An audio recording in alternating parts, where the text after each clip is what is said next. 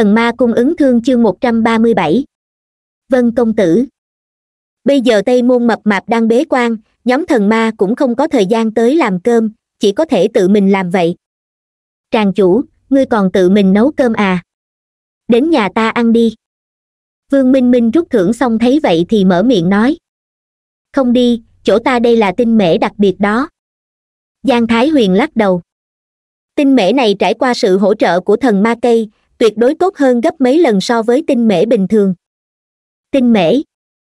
Vương minh minh giật mình, vội vàng nói, tràng chủ, lát nữa cho ta ăn ké một ít với. Đừng có hồng. giang thái huyền cười lạnh. Một nguyên tệ. Vương minh minh quả quyết mở miệng. Hai nguyên tệ một bát. Giang thái huyền đưa ra hai ngón tay. Được thôi, hai thì hai. Vương minh minh đưa hai nguyên tệ giang thái huyền bắt đầu đi nấu cơm. Về phần đồ ăn thì vẫn là thịt yêu thú, chỉ là đổi thịt của loài khác, không sợ ăn ngán. Hai nguyên tệ một bát cơm, đây chắc chắn là bát cơm quý nhất thanh nguyệt thành, tinh mễ mặc dù đắt đỏ, nhưng cũng không bán được đến cái giá này. Nơi này chính là thần ma đạo tràng phải không? Có ba người bước nhanh đến, một người trong đó chắp tay sau lưng, cách ăn mặc giống như một quý công tử, quần áo lộng lẫy được trang trí bằng sợi vàng, ngay eo có treo một ngọc bội quý hai người khác, một nam một nữ, thần sắc mang theo một chút kiêu ngạo, nhưng lại đi phía sau người này. Nơi này đúng là thần ma đạo tràng, ta là. Giang thái huyền còn chưa nói xong, quý công tử kia khinh thường quét mắt nhìn hắn một cái rồi đi thẳng vào. Một nam một nữ kia liếc mắt nhìn giang thái huyền, khinh thường nói, thành trì cấp thấp đúng là thành trì cấp thấp, trước đó thì có tên tiểu nhị của quán chen mồm nói bậy, giờ lại có đầu bếp nấu cơm dám tùy tiện trả lời. Đầu bếp nấu cơm? Má nó, tại nhân viên không đủ nên ta mới tự mình ra tay đó. Vả lại, ta làm cho bản thân ăn, còn vương minh minh kia là mua hai nguyên tệ một bát đó. Vân công tử, vị này là tràng chủ thần ma đạo tràng giang thái huyền. Nam tử còn lại chỉ về phía vương minh minh đang điên cuồng rút thưởng, mang theo một tia e sợ, giới thiệu nói. Hửng là các ngươi à cút đi, đừng đến phiền ta. Vương minh minh phẫn nộ quát, hai người này chính là lưu khánh và dư hồng hắn hiện tại không có thời gian đánh bọn họ, bây giờ hắn chỉ muốn trúng thưởng thôi. Vương minh minh là ta sao? Giang thái huyền ngơ ngác trong chốc lát mới lấy lại tinh thần, hiểu rồi, ba người này chắc là người của tông môn mà vương minh minh cướp bóc hôm trước. Thiếu thành chủ vương minh minh đâu? Vân công tử lạnh lùng nhìn giang thái huyền, nói, nghe nói hắn ở chỗ này, hiện tại đang ở đâu? Vương minh minh một mặt mờ mịt nhìn hắn, ngươi là ai vậy? Tìm ta ta không biết ngươi, chẳng lẽ đây là trưởng lão của tông môn kia? Nhưng nhìn có vẻ trẻ tuổi quá. Mặc kệ đi, có lẽ là lão quái vật ngụy trang thành, điều này đối với đạo quả mà nói không phải là việc khó. Nghĩ đến đây, vương minh minh vỗ đùi, mười nghìn nguyên tệ, cho ta. Khụ, vương thiếu thành chủ, ba vị này đều là tiên thiên. Giang thái huyền vội ho một tiếng, nhắc nhở. Vương thiếu thành chủ. Ba người sững sờ kinh ngạc nhìn vương minh minh, ngươi không phải giang thái huyền sao? Giang thái huyền ở đây. Giang thái huyền biểu môi, đi vào đạo tràng, vị này là thiếu thành chủ, các ngươi tới đây làm gì, tìm người hay là mua đồ? Vương minh minh cười khang một tiếng, nói, ta và tràng chủ là bạn tốt, tràng chủ quả thực là muốn giữ ta lại ăn cơm, còn tự thân xuống bếp, ta cũng cảm thấy ngại rồi đây. Vốn dĩ sát ý của lưu khánh và dư hồng lại bùng lên, nhưng khi nghe nói như thế liền lập tức thu lại một thiếu thành chủ bọn họ không để vào mắt, nhưng nếu là bạn tốt của tràng chủ thần ma đạo tràng thì phải kiên dè rồi. Giang thái huyền cũng không vạch trần, hắn mở miệng nói, nếu muốn mua đồ thì nơi này có công pháp, thể chất, huyết mạch, các ngươi tự xem đi, còn có thần ma đan, thần huyết đan, linh khí tiên thiên. Vương minh minh tiếp tục trút thưởng. Công pháp, thể chất, huyết mạch. Thần cấp sao? Vân công tử nhìn lướt qua, lập tức mở to hai mắt nhìn nơi này thế mà ngay cả thần cấp cũng bán được. Lưu khánh và dư hồng lạnh lùng nói, những thứ này đều là thật sao? Thần cấp đúng là không thể tin được, cho dù bọn họ đã tra rõ tin tức trên thiên võng, nhưng vẫn không thể nào tin được.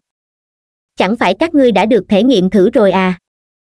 Giang thái huyền thản nhiên nói, các ngươi đến một chiêu của tiên thiên trong thành cũng không tiếp được, đó chính là nghiệm chứng tốt nhất. Hai người họ lập tức xấu hổ, dè dặt liếc nhìn vân công tử trong mắt vân công tử hiện lên vẻ khác lạ, có thật là dương tử lăng đã bỏ ra ba trăm nghìn nguyên tệ ở chỗ này hay không? Nếu ngươi đến để tìm bằng chứng thì xin mời xem thiên võng, còn nếu là đến mua đồ, thì mời xem kỹ vật phẩm. Giang thái huyền xua tay, hắn lười đi chứng thực. Được, ta thật muốn xem xem, thần ma đạo tràng này có thần kỳ như vậy hay không? Vân công tử khẽ cười một tiếng, vừa lật tay, một túi tiền xuất hiện, ở đây có mười nghìn nguyên tệ, một viên thần ma đan giang thái huyền lấy thần ma đan ra, giao cho vân công tử, nhận lấy nguyên tệ. Vân công tử luyện hóa tại chỗ, tinh luyện ra không ít tạp chất, nguyên khí tiên thiên vận chuyển một vòng, tạp chất rơi xuống, trong mắt lóe lên một tia kinh ngạc, hiệu quả của đan này so với nghe đồn bên ngoài còn mạnh hơn nhiều. Giang thái huyền cười mà không nói. Lưu khánh và dư hồng vẽ mặt hâm mộ, chợt âm hiểm liếc nhìn vương minh minh, tiền của bọn hắn chính là bị cái thằng nhãi cướp mất. Còn muốn mua gì không? Giang thái huyền nhìn vân công tử thản nhiên nói. Hai sợi linh khí tiên thiên, công pháp thần cấp từ nhập môn đến thần thông, ta không thể kém hơn dương tử lăng được.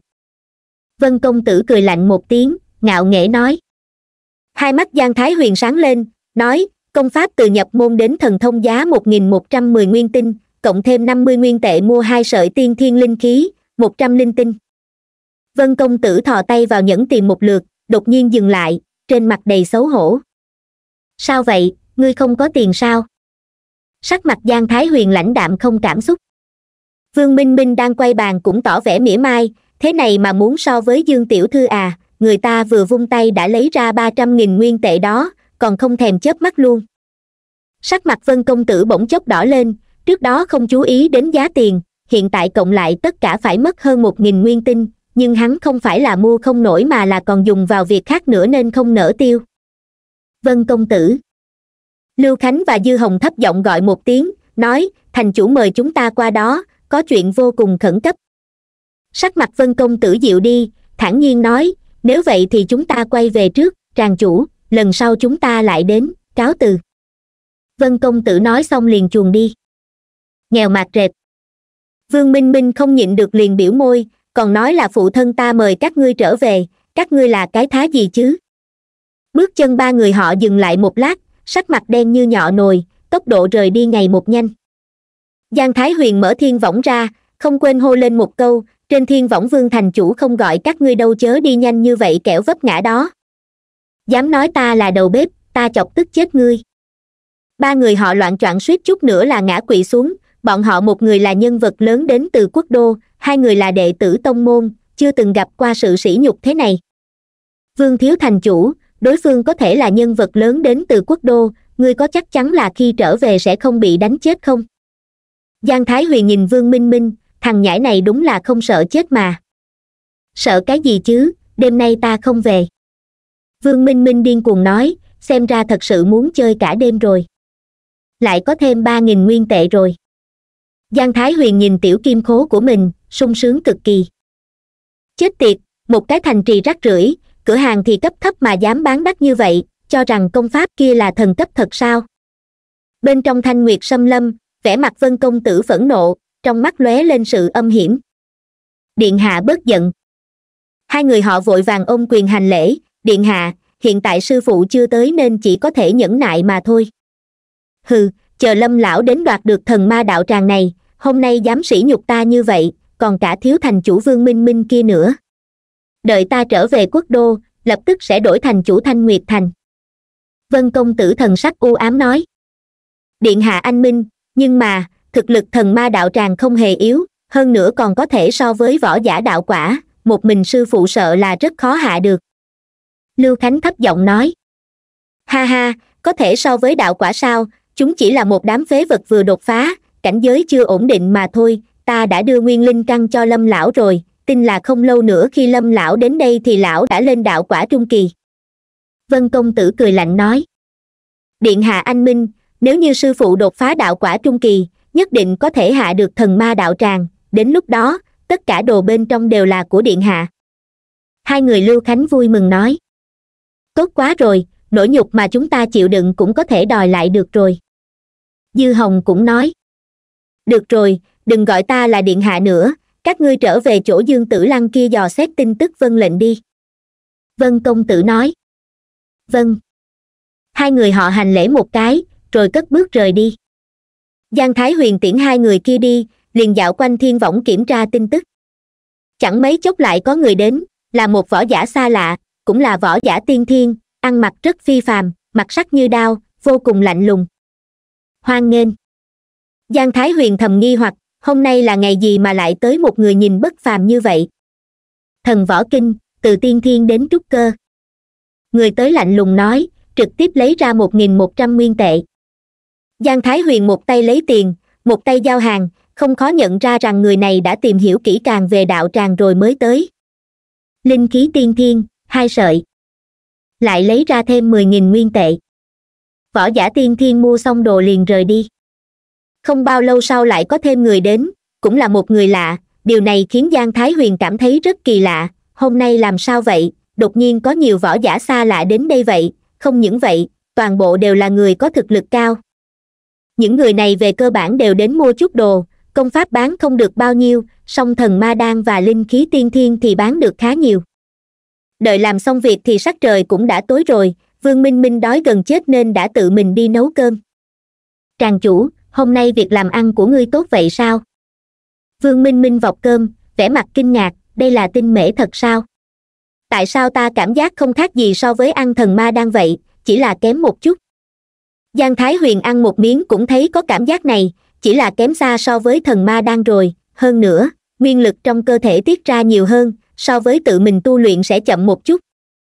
Đây là phương pháp trồng trọt đặc biệt, còn về việc làm ăn buôn bán, ta cũng rất kinh ngạc giang thái huyền xoa mi tâm, hôm nay, không tính võ giả lạ lẫm mua công pháp tiên thiên trúc cơ kia, tiền hoa hồng của hắn cũng được hơn một nghìn nguyên tệ.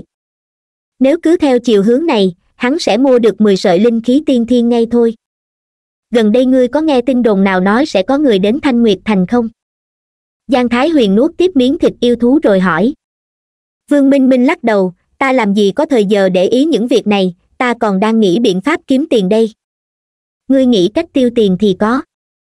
Giang thái huyền trợn mắt, biết hỏi vương minh minh cũng không hỏi được gì, cơm nước xong xuôi trực tiếp nằm ngủ trên võng, còn vương minh minh thì tiếp tục rút thưởng.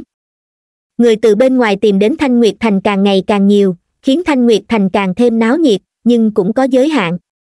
Có không ít võ giả ngoại lai vô cùng cuồng ngạo, đa số đều xem thường võ giả thanh nguyệt thành, thậm chí còn muốn ăn cơm chùa. Kết quả không cần nghĩ cũng biết những võ giả cuồng ngạo này đa số đều bị đánh. Mà toàn là gục ngay sau một chiêu, ngay cả sức đánh trả cũng không có.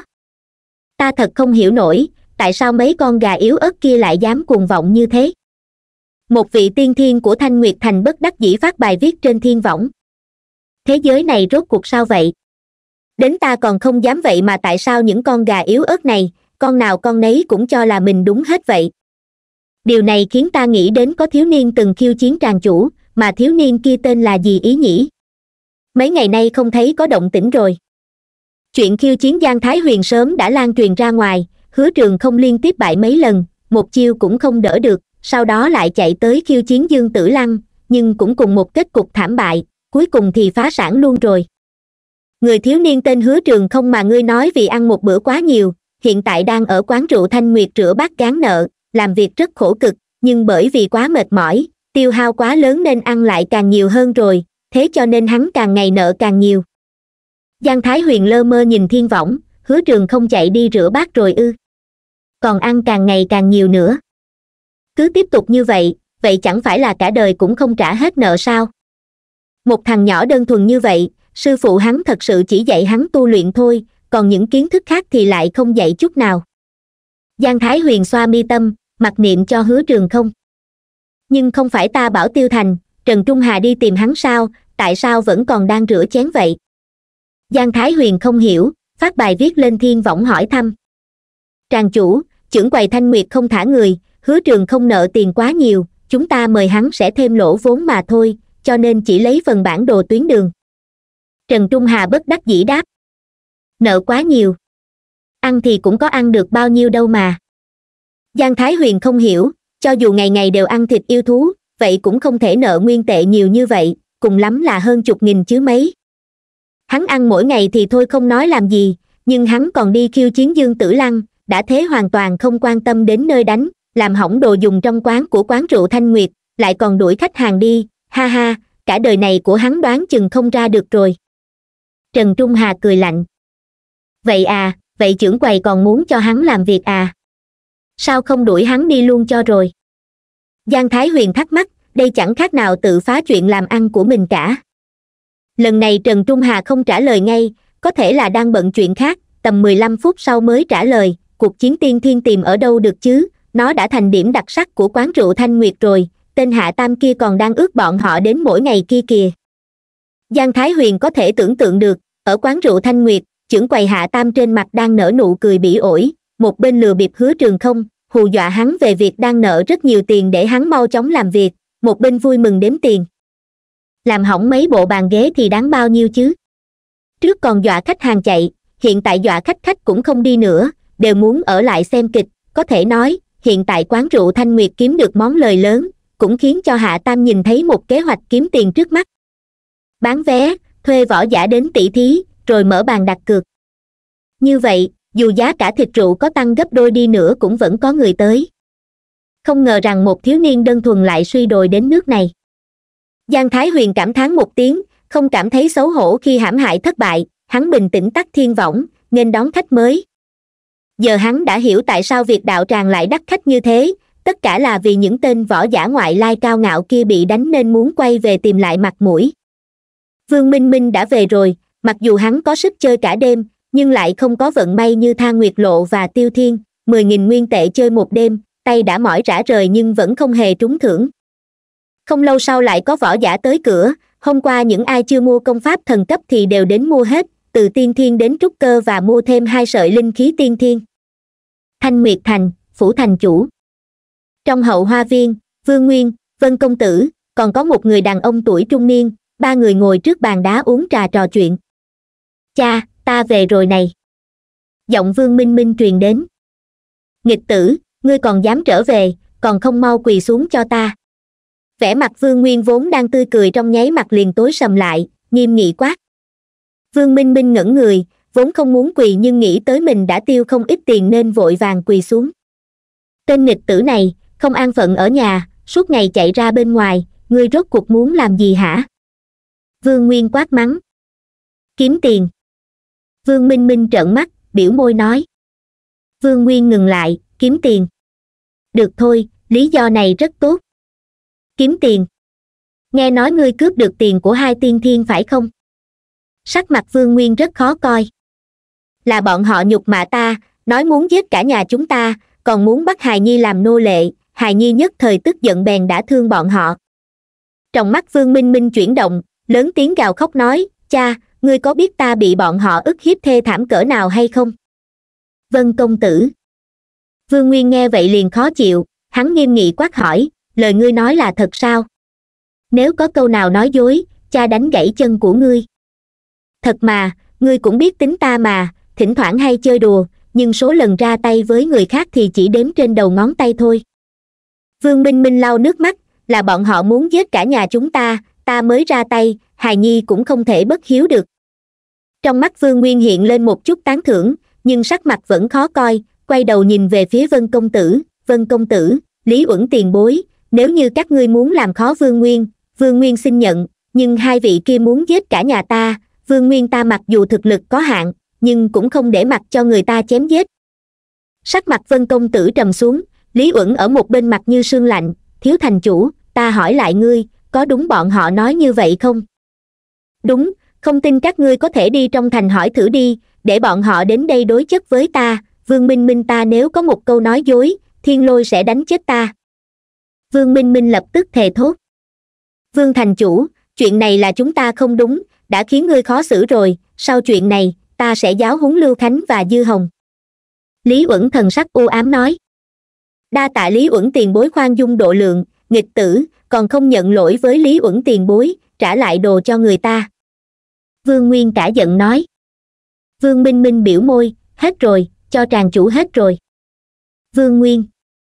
Lý uẩn nhìn vương minh minh thật lâu, chợt bật cười, thành chủ nói đùa rồi, một đồ chơi nhỏ như vậy, coi như lễ gặp mặt phái thanh sơn chúng ta cho thiếu thành chủ đi. Vương nguyên nhìn lý uẩn, mặc dù đối phương đang cười, nhưng hắn lại cảm thấy lạnh buốt, một cổ sát khí vô hình. Nếu như hắn không phải là thành chủ còn giá trị lợi dụng với bọn họ e là họ đã ra tay với hắn rồi. Đa tạ tiền bối ban tặng, ta để cho người ta đi thanh nguyệt hồ cầm chút ngư thú tới làm bữa trưa ăn.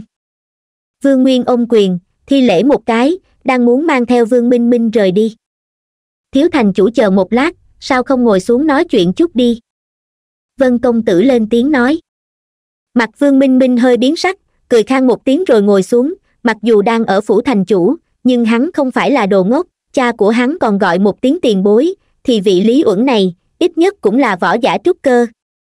Thiếu thành chủ và giang thái huyền là bạn tốt, nên có thể xin thiếu thành chủ giới thiệu một chút về thần ma đạo tràng hay không? Vân công tử cười hỏi. Thần ma đạo tràng, vân công tử hỏi ta xem như hỏi đúng người rồi. Trên mặt vương minh minh hiện lên chút đắc ý, nói, toàn bộ thanh nguyệt thành, chỉ có ta là hiểu rõ thần ma đạo tràng nhất. Nhìn vẻ mặt mong đợi của hai người họ vương minh minh lại nói, thần ma đạo tràng, vân công tử. Khụ, nơi đó chỉ cần có đủ tiền là có thể mua được thương phẩm để nâng cao thực lực. Vương minh minh vốn định nói vân công tử cũng từng đi đến đó, nhưng nghĩ tới lời mỉa mai của mình lúc ấy, lập tức liền đổi lời nói. Hừ, đan dược và linh dược để nâng cao thực lực bên ngoài có rất nhiều, chỉ cần gia nhập giáo phái, có thực lực, tự nhiên sẽ có người đưa lên. Lý uẩn ngạo nghễ, khinh thường nói, loại đồ vật này nếu ăn nhiều thì cảnh giới sẽ không ổn định, tiềm lực về sau sẽ không lớn, như vậy cũng không có tác dụng gì. Thương phẩm thần ma đạo tràng khác biệt so với đan dược bình thường. Vương minh minh giải thích. Khác biệt. Có thể khác biệt cái gì chứ? Lý uẩn cười nhạo một tiếng, nếu có thời gian chi bằng cố gắng luyện võ, gia nhập tông môn, đến lúc đó, có tài nguyên nào là không có chứ? Chạy đi kiếm tiền như vậy, thật sự rất mất mặt võ giả mất mặt con khỉ nhà ngươi. Luyện võ bà nội mày, luyện võ sao quan trọng bằng kiếm tiền chứ? Vương minh minh thầm mắng lý uẩn ngu xuẩn, nhưng miệng lại không dám nói như vậy, hắn cười khang nói, lý tiền bối nói đúng lắm, tại hạ ghi sâu trong lòng. Vân công tử liếc mắt nhìn lý uẩn, lại nhìn về phía vương minh minh, nghe nói cường giả mạnh nhất đạo tràng có thể giết đạo quả vừa đột phá đúng không? Đúng vậy, thanh nguyệt thành chủ đời trước luyện chế huyết đan, gây ra tai họa cho thanh nguyệt thành chính cường giả đạo trường ra tay chém giết. Vương minh minh nói, đây chính là chuyện mà tất cả mọi người đều biết. Vậy ngươi có biết, cường giả mạnh nhất đạo tràng hiện nay đang ở trình độ nào không? Vân công tử hỏi lần nữa. Vẫn giống như trước kia. Vương minh minh nghĩ nghĩ rồi nói. Đáy mắt vân công tử hiện lên vẻ vui mừng, khẽ cười nói, đa tạ thiếu thành chủ giải thích, hiện tại nếu thiếu thành chủ có việc thì xin cứ tự nhiên, chúng ta thế nào cũng được vương minh minh biết, đây là đang muốn đuổi mình đi, trong lòng có chút khó chịu nhưng vẫn đứng dậy rời đi, hắn cũng không muốn ở lâu cùng hai người này. Người mạnh nhất chỉ có thể đối phó đạo quả vừa đột phá, vậy việc này thành rồi. Vân công tử cười lạnh nói. Đến lúc đó giành được vân lệnh, chúng ta lại đoạt thần ma đạo tràng, lấy đi toàn bộ đồ vật trong đó. Lý uẩn nói. Ha ha, nữ nhân ngu xuẩn dương tử lăng kia, còn tốn ba trăm nghìn nguyên tệ để mua đồ nếu trực tiếp đoạt lấy thì không phải cái gì cũng là của ta hết sao? Vân công tử hai mắt băng lãnh. Tràng chủ, hôm qua có một nam một nữ đến đây phải không? Đi theo họ còn có một vị vân công tử nữa. Trong đạo tràng, dương tử lăng đến từ rất sớm, thấy chưa có ai đến nên hỏi ngay. Giang thái huyền gật đầu, ừm, tên nghèo họ vân kia, nói gì mà sẽ không kém hơn ngươi, kết quả, một nghìn nguyên tinh cũng không bỏ ra nổi không bỏ ra nổi một nghìn nguyên tinh sao? Dương tử lăng có chút suy tư, chợt nói, tràng chủ, đa tạ đã cho ta biết, ta đi đây. Sao vậy? Không mua đồ gì sao? Giang thái huyền có chút thất vọng.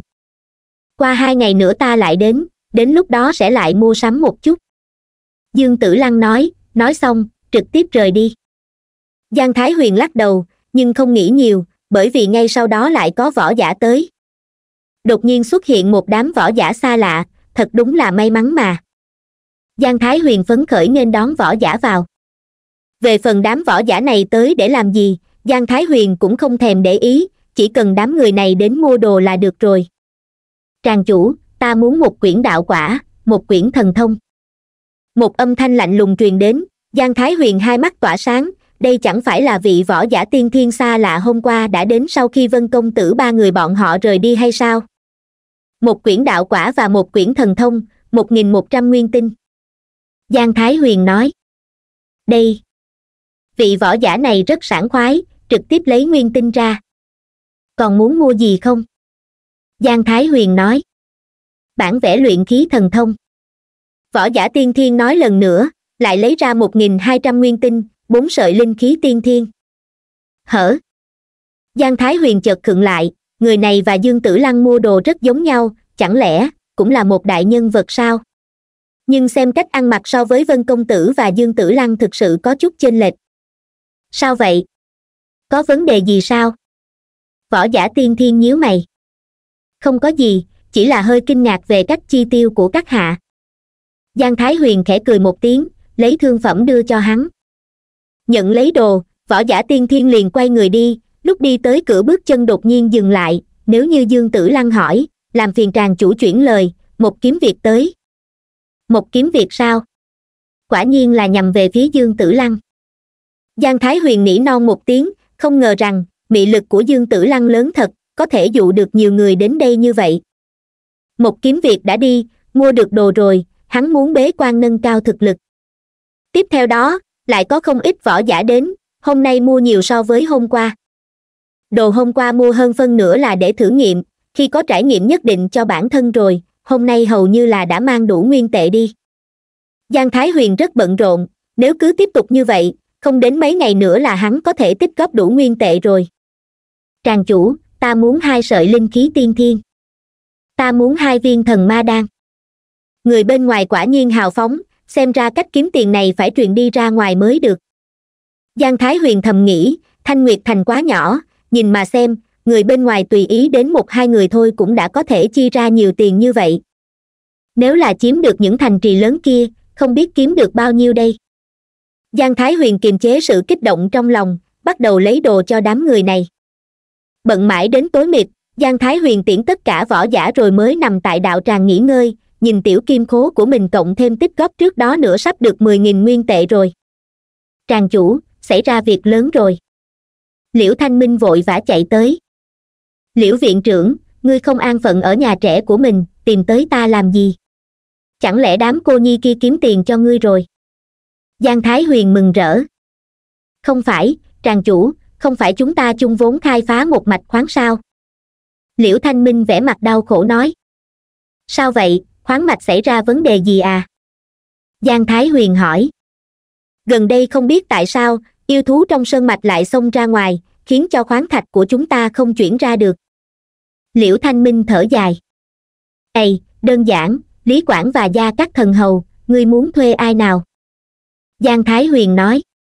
Ta muốn thuê lý quảng. Liễu thanh minh lấy ra một túi tiền, đây là chúng ta góp được năm ngàn nguyên tệ, hy vọng lý quảng tiền bối có thể ra tay, lần này yêu thú có hơi nhiều, hy vọng tràng chủ có thể chấp nhận giá tiền này. Hơi nhiều giang thái huyền nhíu mày. Đúng vậy, ít nhất là mười con yêu thú trúc cơ trở lên, có khi còn nhiều hơn. Liễu thanh minh thở dài. Ngươi không phái người đi thăm dò sao, nguyên nhân sự việc thì sao? Giang thái huyền nghi hoặc. Thành chủ nói rồi, chuyện này không phải chuyện chúng ta có thể nhúng tay được, bảo ta đón người trong khoáng mạch ra, chờ khoảng thời gian này qua đi mới khai phá tiếp. Liễu thanh minh bất đắc dĩ nói. Lý quảng, năm nghìn nguyên tệ đưa những người kia ra, nhiệm vụ này ngươi có tiếp nhận không? Giang thái huyền gọi lý quảng. Nhiệm vụ thanh lý thanh nguyệt hồ hắn đã làm xong rồi, nếu muốn thanh lý thì phải thuê mới lần nữa. Lý quảng chớp mắt hiện ở trước cửa, có thể.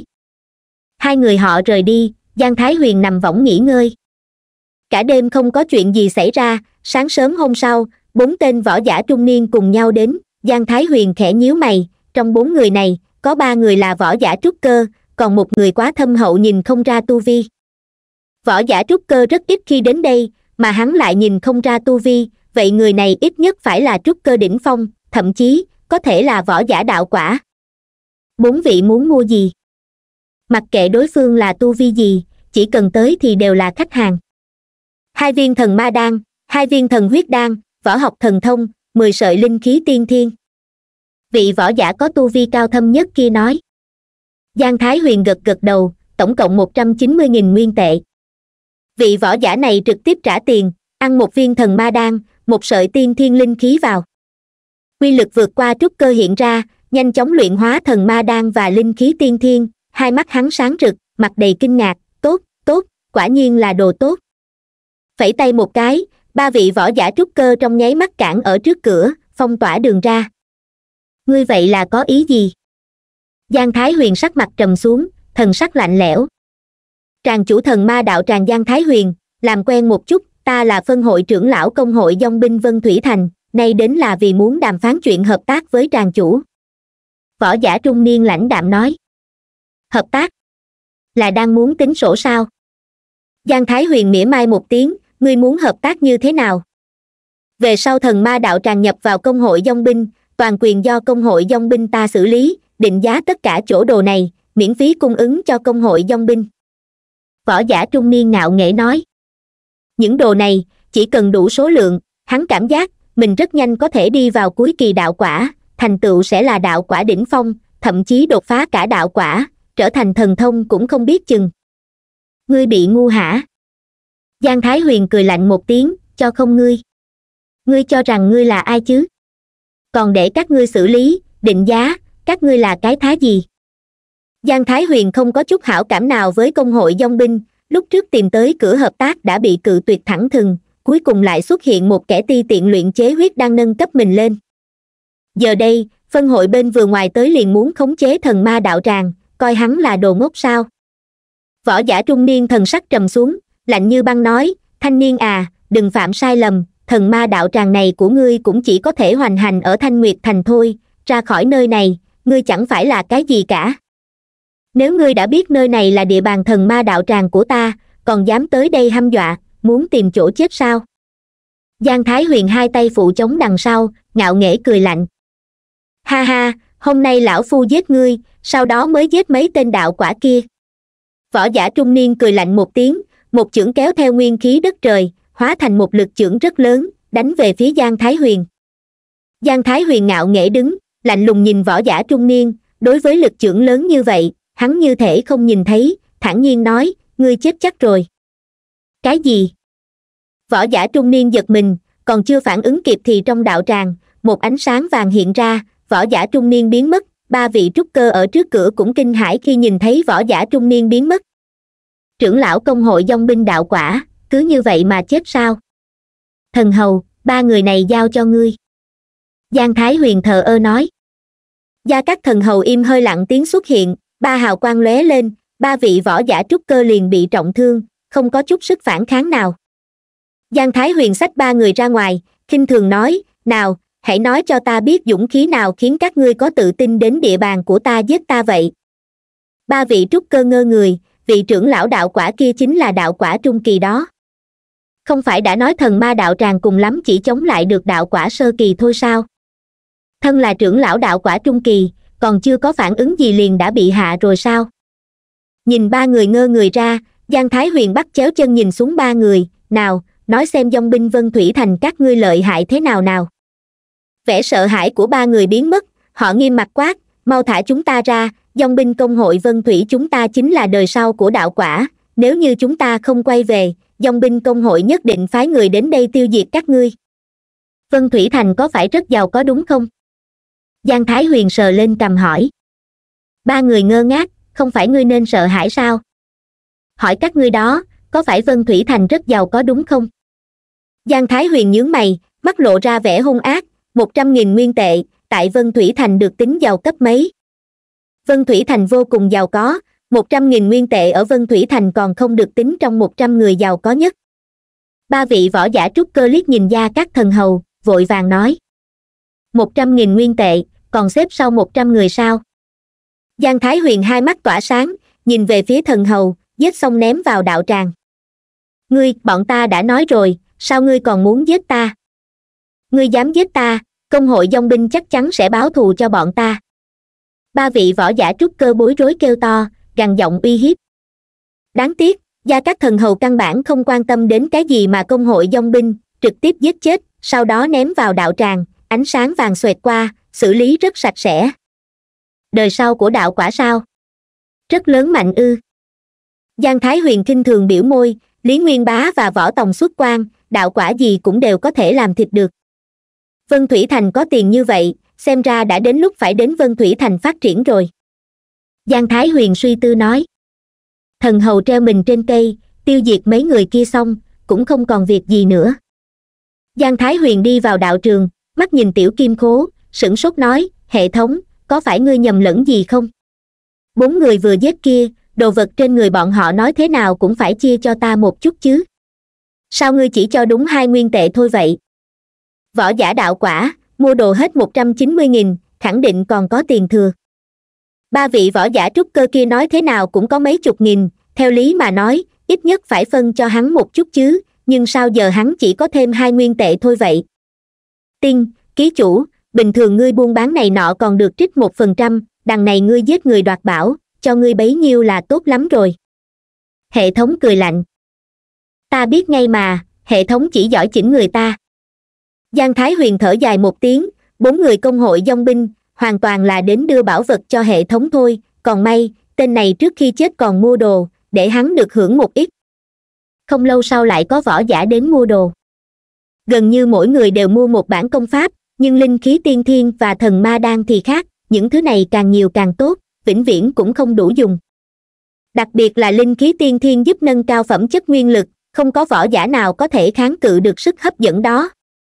Đừng tưởng giá bán linh khí tiên thiên hơi thấp nhưng cũng vì thế mà đa số mọi người đều mua từng phần từng phần góp vào, lại có thể nâng cao phẩm chất nguyên lực, lại có thể tăng tu vi cao hơn, cho nên là càng nhiều càng tốt.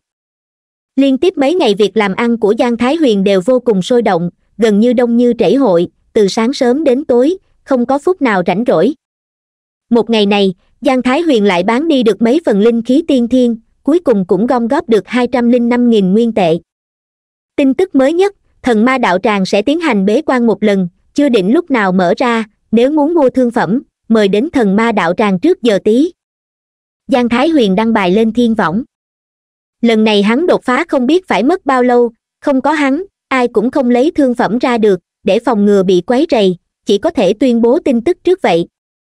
Tràng chủ, thần ma đạo tràng phải đóng cửa ư. Tại sao vậy? Tu sĩ thanh nguyệt thành điên mất rồi thần ma đạo tràng là hy vọng của bọn hắn, nếu như đóng lại, bọn hắn sẽ đi đâu mua đồ đây? Tràng chủ, ngươi gặp phải phiền toái gì sao? Có phiền toái gì người nói với chúng ta chúng ta sẽ kiếm tiền, tập hợp người cho ngươi. Vương nguyên luống cuống. Hắn có thể ngồi lên chức thành chủ này là có sự giúp sức to lớn của thần ma đạo tràng, hắn còn trông cậy nhiều vào thần ma đạo tràng, giờ thần ma đạo tràng mà bế quan, tương lai của hắn sẽ như thế nào đây? Khụ, chư vị lần này đạo tràng vì muốn điều chỉnh một chút, tăng thêm thương phẩm mới thôi, nên chư vị yên tâm, cùng lắm là quan bế mấy ngày, sau đó sẽ mở ra lần nữa. Giang thái huyền nói. Tăng thêm thương phẩm mới. Xin hỏi tràng chủ, tăng thêm gì vậy? Tất cả mọi người đều cùng quan tâm. Giờ phút này, bất kể là thanh nguyệt thành hay kẻ đến từ bên ngoài, tất cả đều quan tâm đến thần ma đạo tràng. Thương phẩm hiện tại của thần ma đạo tràng đã đủ thần kỳ rồi giờ còn muốn tăng thêm thương phẩm mới, cái này còn có thể tăng thêm như thế nào đây? Đợi khi nào mở lại đạo tràng, mọi người sẽ biết liền, được rồi, muốn mua thương phẩm thì nhanh lên, về thời gian mở cửa cụ thể, ta cũng không chắc đâu. Giang thái huyền nói. Ai mà biết hắn lần bế quan đột phá này phải mất bao lâu, có lẽ chỉ cần một ngày cũng có lẽ phải vài ngày. Về phần tăng thêm thương phẩm mới, hắn thật sự không biết, vừa rồi hệ thống gửi nhắc nhở tới đột phá trúc cơ sẽ tăng thêm thương phẩm mới, nhưng lại không có nói là thương phẩm gì. Một nháy mắt, người có chút tiền của cả thanh nguyệt thành đều đứng dậy, đổ xô lao tới thần ma đạo tràng.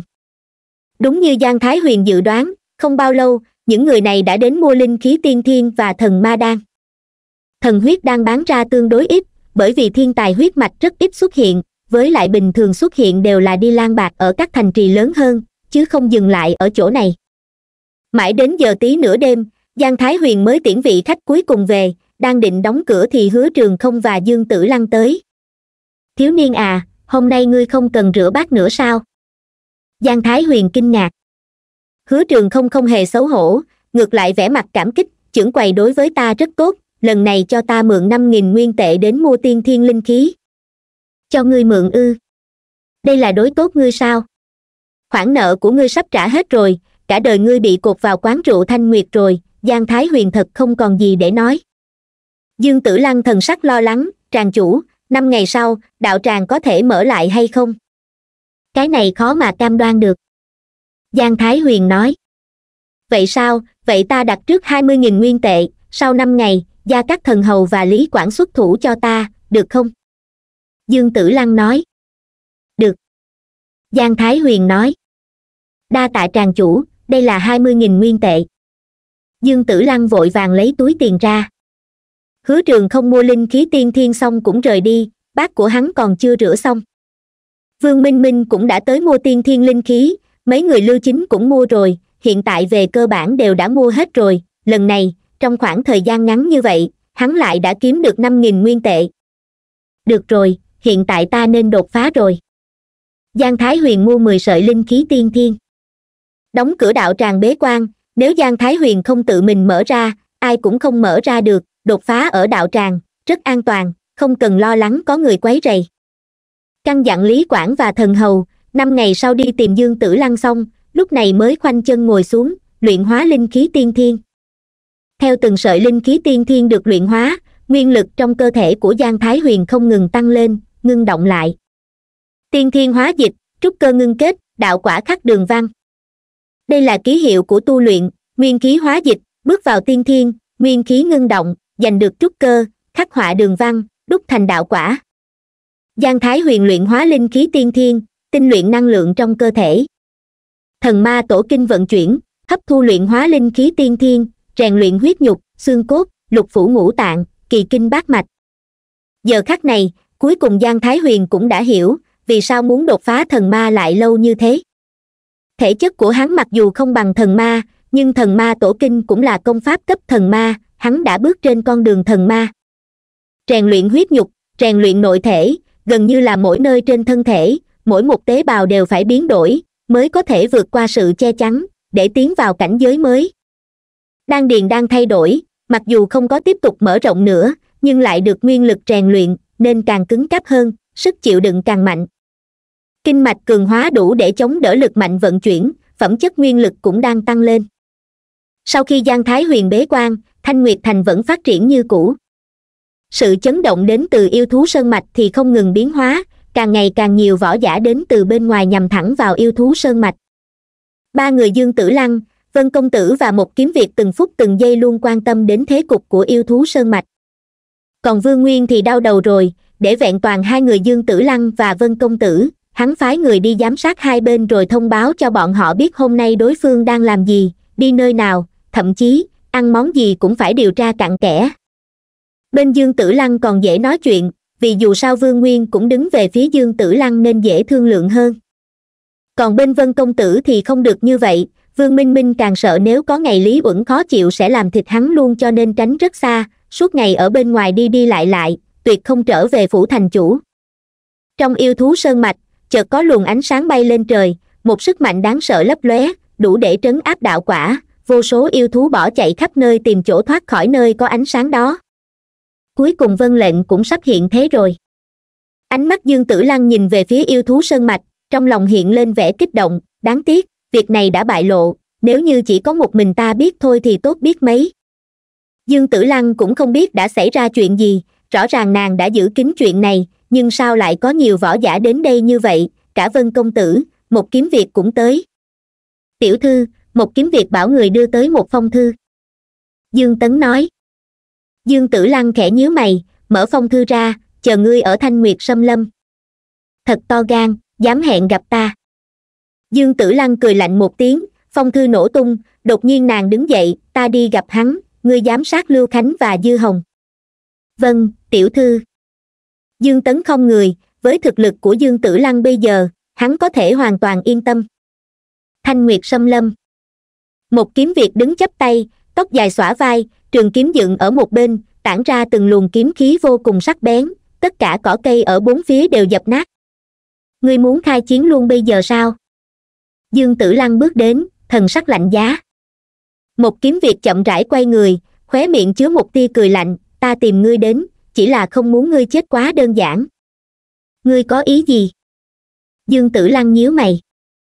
Trợ thủ của ngươi, lâm sơn đã đầu quân dưới trướng vân phong rồi, ta có thể xuất hiện ở đây cũng là do hắn đưa tin. Một kiếm việt lạnh lùng nói. Hắn dám phản quốc. Dương tử lăng tức giận, sắc mặt lạnh giá như sương, hai mắt bùng lên sát khí. Phản quốc. Ha ha. Một kiếm việt mỉa mai cười một tiếng từ lúc nào mà quốc gia có thể quản lý cả tông môn thế? Còn nữa, ngươi cướp đoạt vân lệnh chẳng phải cũng là phản quốc ư? Dương tử lăng đanh mặt, đa tạ tin tức này của ngươi, vì đang trong thanh nguyệt thành nên ta sẽ không giết ngươi. Ha ha, ngươi vẫn cuồng vọng giống như trước, giống y như phụ vương của ngươi. Một kiếm việt cười mỉa một tiếng, nắm chặt trường kiếm, ngươi là đối thủ mà ta đánh giá rất cao, đồ mà ngươi mua ta cũng mua rồi, ai giết ai còn khó nói lắm một kiếm việt cười nhạo một tiếng rồi rút kiếm khỏi vỏ. Dương tử lăng sầm mặt, nàng hừ lạnh một tiếng, rời khỏi nơi này. Tin tức yêu thú sơn mạch có bất thường lan ra, khiến cho toàn bộ thanh nguyệt thành nhao nhao cả lên, vô số võ giả lạ mặt và võ giả trong thanh nguyệt thành điên cuồng tiến vào yêu thú sơn mạch.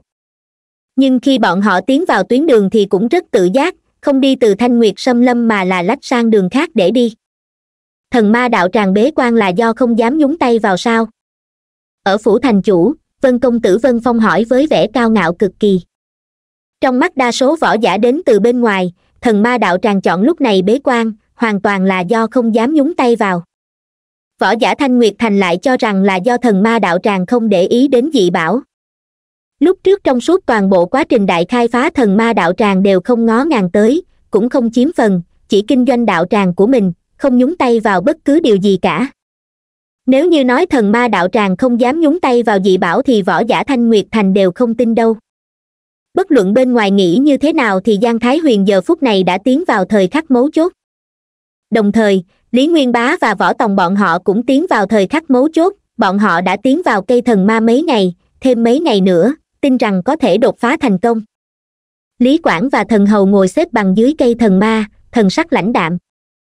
Huyết nhục đã thay đổi xương cốt huyết dịch đều đã được tinh luyện, nguyên lực cũng đang tăng lên, chỉ cần hoàn thành việc rèn luyện, liền có thể đột phá ngay. Giang thái huyền ngồi xếp bằng nghe truyện trên tv audio cv kiểm tra tình trạng nội thể, dưới sự tác động của đạo cảnh thần cấp, bên trong đạo tràng tràn ngập thanh quan mịt mù. Thần ma đạo tràng bế quan, các đại gia tộc vẫn đang cố gắng kiếm tiền, chờ thần ma đạo tràng mở ra, đến lúc đó sẽ có tiền mua đồ vật mà phần lớn võ giả xông vào yêu thú sơn mạch lại bị giết đến tè ra quần, thiên võng cũng loạn rồi, tất cả đều có nhu cầu muốn thuê võ giả sang bằng yêu thú sơn mạch, cướp đoạt dị bảo. Đáng tiếc, thần ma đạo tràng đang bế quan, bọn họ gọi thế nào cũng vô dụng, có tiền cũng không tiêu được. Một ngày này, lý quảng và gia các thần hầu đồng thời bước ra khỏi thần ma đạo tràng, tiến vào yêu thú sơn mạch tụ họp với dương tử lăng, nàng cũng đã sớm tiến vào sơn mạch. Hai vị nếu như giết một đạo quả thì cần bao nhiêu tiền? Dương tử lăng trực tiếp hỏi. Giết đạo quả? Lý quảng trầm ngâm một lúc, về phần giá cả thì đàm phán cùng tràng chủ, bọn ta chỉ phụ trách động thủ. Thế nhưng đạo tràng đang bế quan, ta không liên lạc được với tràng chủ. Dương tử lăng bất đắc dĩ nói. Vậy bọn ta cũng không biết, bọn ta sẽ giúp ngươi giành được bảo vật, cũng bảo đảm sự an toàn tạm thời cho ngươi, về phần vị đạo quả kia, nếu hắn làm khó ngươi bọn ta sẽ ngăn hắn lại. Gia các thần hầu nói. Vậy làm phiền hai vị. Dương tử lăng vội vàng nói. Lý quảng và gia các thần hầu khẽ vuốt cầm rồi bước vào yêu thú sơn mạch. Yêu thú sơn mạch xuất hiện bảo vật, trước đó võ giả xông vào, phần lớn đã được sàng lọc, không có tu vi tiên thiên, ngay cả tư cách tham dự cũng không có. Mà võ giả tiên thiên cũng chỉ có tư cách mà thôi, võ giả trúc cơ cũng không thể đưa ra quyết định nào có ảnh hưởng cả cuộc chiến đoạt bảo thật sự sẽ chỉ có võ giả đạo quả. Lý quảng và gia các thần hầu, hai người mạnh nhất đạo tràng thần ma dẫn theo dương tử lăng, dương tấn, còn có lưu khánh và dư hồng tiến vào chỗ có dị bảo. Mà giờ phút này, ở chỗ dị bảo, đã có người tới trước một bước. Ánh sáng lấp lóe, trận văn dày đặc, trận pháp huyền ảo phong ấn một thông đạo dưới lòng đất. Mà đám võ giả tới trước đang ngơ ngác nhìn trận pháp, trận này ít nhất cũng là trận pháp huyền phẩm cho dù là đạo quả cũng khó có thể xâm nhập được. Không ngờ rằng yêu thú sơn mạch còn có trận pháp như vậy, có thể sử dụng trận pháp huyền phẩm để bảo vệ, nơi đây tuyệt đối có bảo vật vô cùng quý giá, là loại có thể bán được rất nhiều tiền. Một vị tiên thiên thanh nguyệt sắc mặt ngưng trọng nói, dương tử lăng và các võ giả xa lạ. Trong mắt các ngươi, ngoại trừ bán lấy tiền ra không thể nghĩ được cái khác hay sao? Từ lúc nào mà bảo vật phải dùng tiền để đánh giá vậy? Vân lệnh hiện thế, mau cút đi. Một tiếng quát lạnh vang lên, vân phong bước đến, lý uẩn đi theo phía sau. Ai vậy, sao có thể ngạo mạn như vậy? Tưởng chỉ nói một câu như vậy là có thể đuổi chúng ta đi được à? Sao ngớ ngẩn vậy, muốn một mình độc chiếm bảo vật ư? Từng lời mỉa mai vang lên khiến sắc mặt vân phong đanh lại. Hoàng lệnh của đại vân ở đây, còn không mau cút đi. Lý uẩn hừ lạnh một tiếng, một miếng lệnh bài màu vàng xuất hiện phía trên khắc một đám mây màu đen. Là của hoàng thất đó. Trời ạ, ta còn tưởng rằng là ai? Đám võ giả khinh thường cười lạnh. Nơi này rất xa xôi, hoàng đế xa tận trời cao, sức uy hiếp của hoàng thất còn không bằng một vị thành chủ. Huống chi, hiện tại ai mà chẳng biết ở thanh nguyệt thành tất cả phải nghe theo thần ma đạo tràng. Ta còn tưởng là tràng chủ tới, nếu là tràng chủ lên tiếng, ta lập tức đi ngay. Một vị tiên thiên cười lạnh nói đúng vậy, nếu tràng chủ bảo chúng ta rời đi, ta liền đi. Một đám võ giả cười lạnh. Những võ giả này, đừng nói là không sợ trời không sợ đất, ngay cả ngày thường còn không có liên hệ gì với quan phủ đại vân quốc, không những thế vương nguyên còn xuất thân trong gia tộc võ giả, với cái gọi là lệnh bài, thật sự không có sức ép gì đối với bọn họ. Cùng lắm thì tìm một nơi không người để trốn, đại vân quốc còn có thể bắt được bọn họ sao? Các ngươi. Mặt vân phong tái mét hắn đường đường là người hoàng thất đại vân, rất có uy lực, thế mà còn không bằng một trưởng quỷ. Trong mắt vân phong, giang thái huyền chỉ là một trưởng quỷ mở được một cửa hàng mà thôi, hắn có thể tùy tiện bóp chết. Hừ. Chợt có tiếng hừ lạnh vang lên, một ông lão bay đến vì thế mạnh mẽ quét sạch tất cả, không tuân theo lệnh của đại vân, đáng giết vừa mới nói xong, nguyên khí đất trời rung lên, ngưng tụ thành một chưởng banh kích giáng xuống bao phủ võ giả vừa lên tiếng hai vị, xin hãy ra tay. Dương tử lăng biến sắc, vội vàng nói. Lý quảng khẽ nhíu mày, một chưởng này cũng bao phủ lên bọn hắn, trường cung trong tay bắn lên không trung. Tiếng động vang lên, mũi tên nổ tung, chưởng lớn bị dập tiêu tan trong không trung. Là lý quảng tiền bối, lý quảng tiền bối của đạo tràng. Võ giả thanh nguyệt thành nhận ra lý quảng. Thần ma đạo tràng sao? Người vừa tới sắc mặt lạnh lẽo, thần sắc hung ác nham hiểm lâm sơn. Dương tử lăng sắc mặt trầm xuống bước ra, lạnh giọng nói, quả nhiên là ngươi bán đứng ta. Bán đứng? Dương tiểu thư, dương quận chúa, ngươi tự mình điều tra vân lệnh, có được tin tình báo lại giấu giếm không báo, muốn nuốt vân lệnh một mình chính là đáng chết. Lâm sơn hừ lạnh một tiếng, lạnh giọng nói, lão phu trung thân báo quốc, đương nhiên phải báo cho điện hạ. Vân lệnh? Vật bảo kỳ lạ này là vân lệnh sao? Tất cả võ giả xôn xao. Vân lệnh là ký hiệu của hoàng đế đại vân quốc, do người sáng lập đại vân quốc, hoàng đế vân phàm để lại, là biểu tượng đại vân quốc. Hơn nữa, vân lệnh còn ẩn giấu một bí mật, nếu ai có thể giải được thì sẽ có thể phá bỏ ràng buộc của đạo quả, trở thành thần thông. Chỉ là một trăm năm trước, vân phàm thoái vị, một mình rời đi, không có ai biết hắn đi nơi nào, không ngờ rằng, vân lệnh lại xuất hiện ở nơi này. Đúng là vân lệnh, vì không ít thế lực đều đang tìm kiếm nếu ai có được vân lệnh thì sẽ là vân phàm tiếp theo, chiếm giữ thiên mệnh, trở thành hoàng đế đại vân kế tiếp. Có võ giả nói, dương tử lăng lạnh lùng nhìn lâm sơn, hay cho câu trung thân báo quốc, ngoài mặt trung thành với hoàng thất, nhưng lại âm thầm cấu kết địch quốc, dẫn sói vào nhà, vân phong điện hạ, ngươi không hề thăm dò lâm lão bên cạnh ngươi xem sao một kiếm việc lại đến được nơi này ư.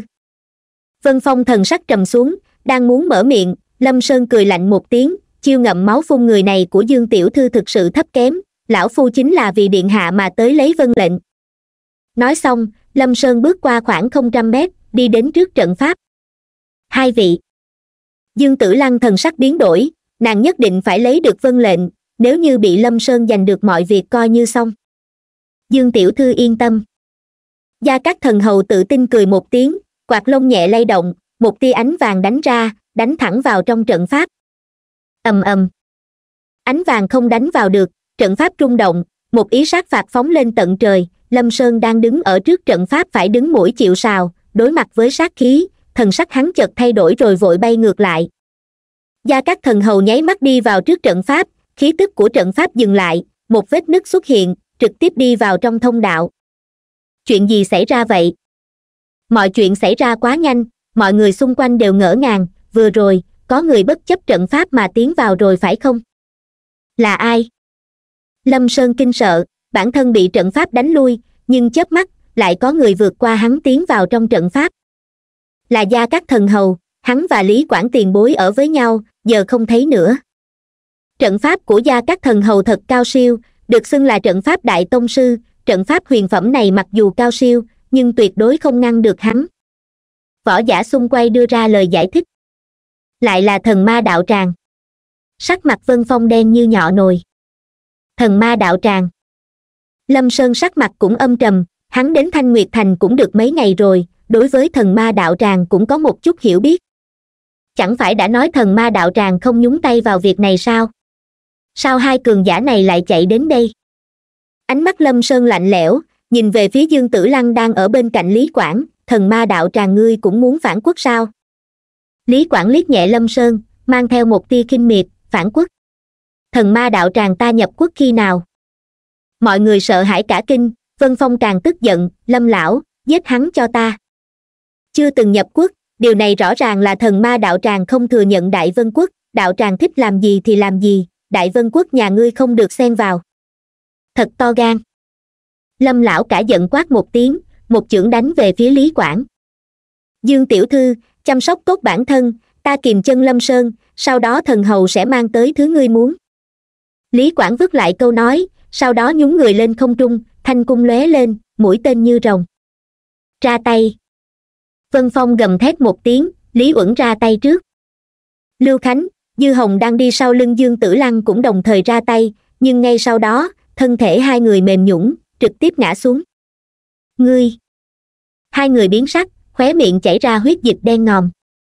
Ngu ngốc, các ngươi thật sự cho rằng ta không biết các ngươi sớm đã phản bội ta sao? Sắc mặt dương tử lăng cực kỳ lạnh lẽo, nàng cầm trường kiếm trong tay, ta đã sớm hạ kịch độc có tác dụng chậm vào trong thức ăn của các ngươi rồi. Giết! Dương tấn cả giận quát một tiếng, cây thương dài trong tay lao về phía lý uẩn. Ha ha, chỉ bằng ngươi mà cũng dám cản ta. Lý uẩn cười lạnh một tiếng, một kiếm chém thẳng xuống một thương như rồng múa, trong nháy mắt xuyên thủng thân thể của lý uẩn, con người tự cho mình là võ công cao cường mà kiêu ngạo đó lại không chịu nổi một chưởng. Ngu ngốc, ta sớm đã tinh luyện phẩm chất nguyên lực. Dương tấn cười lạnh một tiếng, thương dài lắc một cái, đá thân thể lý uẩn văng ra ngoài. Vân phong điện hạ, ngươi còn có gì cần giúp đỡ không? Dương tử lăng cười lạnh một tiếng, mỉa mai nhìn vân phong. Ngươi. Vân phong kinh sợ, không nghĩ tới mấy cao thủ mà mình mang tới đây, ngoại trừ đạo quả lâm lão, tất cả đều đã chết, đều chết ngay trong một chiêu. Lưu khánh và dư hồng bị độc chết còn được, nhưng lý uẩn này là trúc cơ đỉnh phong, là cao thủ xuất thân từ tông môn, thế mà đến một chiêu cũng không cản được. Ta là hoàng tử đại vân, ngươi dám giết ta sao? Vân phong sợ hãi lui lại, một miếng hoàng lệnh của đại vân giơ lên, ông một tia hy vọng cuối cùng, ai có thể giết dương tử lăng, ta phong hắn làm chủ một thành vương nguyên vương nguyên ở đâu? Nhanh chóng ra đây, ngăn tên phản bội này lại. Vân phong gầm thét. Bốn phía yên tĩnh, không thấy bóng dáng vương nguyên đâu, đến cả võ giả nhà họ vương trong phủ thành chủ cũng không nhìn thấy. Vân phong điện hạ, ngươi quá lo lắng rồi, tử lăng sao dám ra tay với điện hạ chứ? Lúc nãy chỉ là giết phản nghịch thôi. Dương tử lăng nghiêm mặt lên tiếng, vội vàng hành lễ với vân phong. Vân phong thầm giật mình, nhất thời có chút ngỡ ngàng điện hạ, nàng ta đang mê hoặc ngươi đó. Lâm sơn gầm lên một tiếng, một chưởng đẩy lui lý quảng, phi thân đi đến trước người vân phong. Lý quảng mang vẻ mặt nghiêm túc trở lại bên cạnh dương tử lăng, vừa rồi khi giao chiến hắn đã rơi vào thế yếu. Lâm sơn là võ giả đạo quả trung kỳ, hắn chỉ có thể miễn cưỡng ngăn chặn, muốn chiến thắng đối phương là việc không thể nào. Dương tử lăng lạnh lùng nói, lâm sơn, ngươi phản bội đại vân quốc, mê hoặc hoàng tử cho dù là thanh sơn tông cũng không cứu nổi ngươi. Sắc mặt lâm sơn vô cùng nghiêm túc, điện hạ, ngài hãy rời khỏi đây trước, khi nào lão phu lấy được vân lệnh sẽ đi tìm ngài. Vân phong lắc đầu, lâm lão yên tâm, nàng không dám giết ta, vân lệnh quan trọng hơn, xin nhờ lâm lão ra tay. Hiện tại hắn cũng đã nhận ra lúc nãy bản thân hắn đã quá hồ đồ, hắn đường đường là hoàng tử của đại vân quốc, sao dương tử lăng dám ra tay giết hắn kia chứ? Lâm sơn vừa nghĩ cũng hiểu rõ nguyên nhân kế đó lão lại tiếp tục ra tay, nguyên khí thiên địa bạo động theo trường kiếm trong tay lão, một luồng kiếm quang dài tầm một trượng bổ thẳng về phía lý quảng. Cung tiễn của lý quảng dũng mãnh như rồng, hắn bắn năm mũi tên cùng một lúc, đối đầu trực diện với võ giả đạo quả trung kỳ. Dương tử lăng quét mắt nhìn khắp nơi, sau đó lùi về sau dương tấn, chúng ta đi. Tiểu thư, thế còn vân lệnh. Dương tấn do dự thần ma đạo tràng sẽ lấy được nó. Chúng ta ở lại chỗ này chỉ tổ vướng tay vướng chân, vả lại tất phải đặt một dấu chấm hết cho chuyện ngày hôm nay. Ta muốn đi gặp một kiếm việc. Dương tử thất vọng thì thào. Dương tấn khẽ gật đầu rồi xoay người mang dương tử lăng chạy đi. Vân phong sầm mặt nhìn hai người bọn họ, song lại không đuổi theo. Trong tiễn cảnh, tiễn khí rậm rạp rợp trời, dưới đất, các võ giả khác vội vàng lui về sau tránh khỏi trận chiến của hai đại cao thủ nơm nớp lo sợ bị dư chấn liên lụy. Ầm. Đúng lúc này, trận pháp lại tiếp tục biến hóa, gia các thần hầu phá trận đi ra ngoài, một tay y cầm quạt, tay còn lại thì cầm một lệnh bài màu trắng, y thờ ơ nói, nhiệm vụ hoàn thành, lý quảng, đi. Vừa dứt câu, y lập tức nhún người, thắt cái đã đi xa nghìn dặm, mười lăm phút sau trận pháp sẽ biến mất, bên trong còn sót lại mấy món rác rưởi, cho các ngươi đấy. Đa tạ thần hầu tiền bối đám võ giả nọ cảm kích không thôi. Thần ma đạo tràng là vậy đấy, chẳng ai vừa mắc mấy món cấp thấp cả, theo như lời tràng chủ thì cái nào không được thần cấp đều là rác rưởi. Lý quảng bắn hai đợt cung mỗi đợt năm mũi tên, sau khi đánh lui lâm sơn thì tức tốc đuổi theo gia các thần hầu. Đứng lại đó. Lâm sơn phẫn nộ chém gãy mười mũi tên, rồi bổ kiếm về phía hai người. Đừng có tự tìm đường chết. Gia các lạnh mặt, y phất quạt một cái một luồng ánh sáng màu vàng lập tức lóe lên. Lý quảng cũng giơ trường cung lên bắn. Ầm. Một tiếng nổ vang lên, kiếm quang bỗng chốc vỡ nát, lâm sơn lão đảo lùi về phía sau, sắc mặt vô cùng u ám. Lâm lão. Vân phong biến sắc, lâm lão đường đường là đạo quả trung kỳ, thế mà lại bị đánh lui. Mà lúc này, gia các thần hầu và lý quảng chỉ sải chân một cái đã đi được hơn chục trượng, chẳng mấy chốc đã biến mất khỏi tầm mắt của mọi người đi. Lâm sơn sầm mặt túm lấy vân phong rồi ngự không đi mất. Lão già ngu ngốc, tưởng đạo quả là vô địch thật à. Cũng không xem xem bọn họ là ai. Một võ giả đến tầm bảo cười kinh bỉ. May mà thần hầu tiền bối chưa bày trận đó nhé, chứ ngày ấy mà bày trận thì ta chắc kèo lâm lão gì đó sẽ chết mất xác luôn. Lý quảng và gia các thần hầu chẳng mảy may để tâm đến lời nghị luận của nhóm võ giả, nhiệm vụ của bọn họ là vân lệnh chứ không phải giết đạo quả chỉ cần lấy được vân lệnh là nhiệm vụ hoàn thành. Lúc hai vị thần ma về đến đạo tràng thì dương tử lăng còn chưa tới, bọn họ cũng không nôn nóng, hai người ngồi xếp bằng trước cửa đợi người đến. Mà tin tức về vân lệnh cũng đã được truyền khắp thanh nguyệt thành.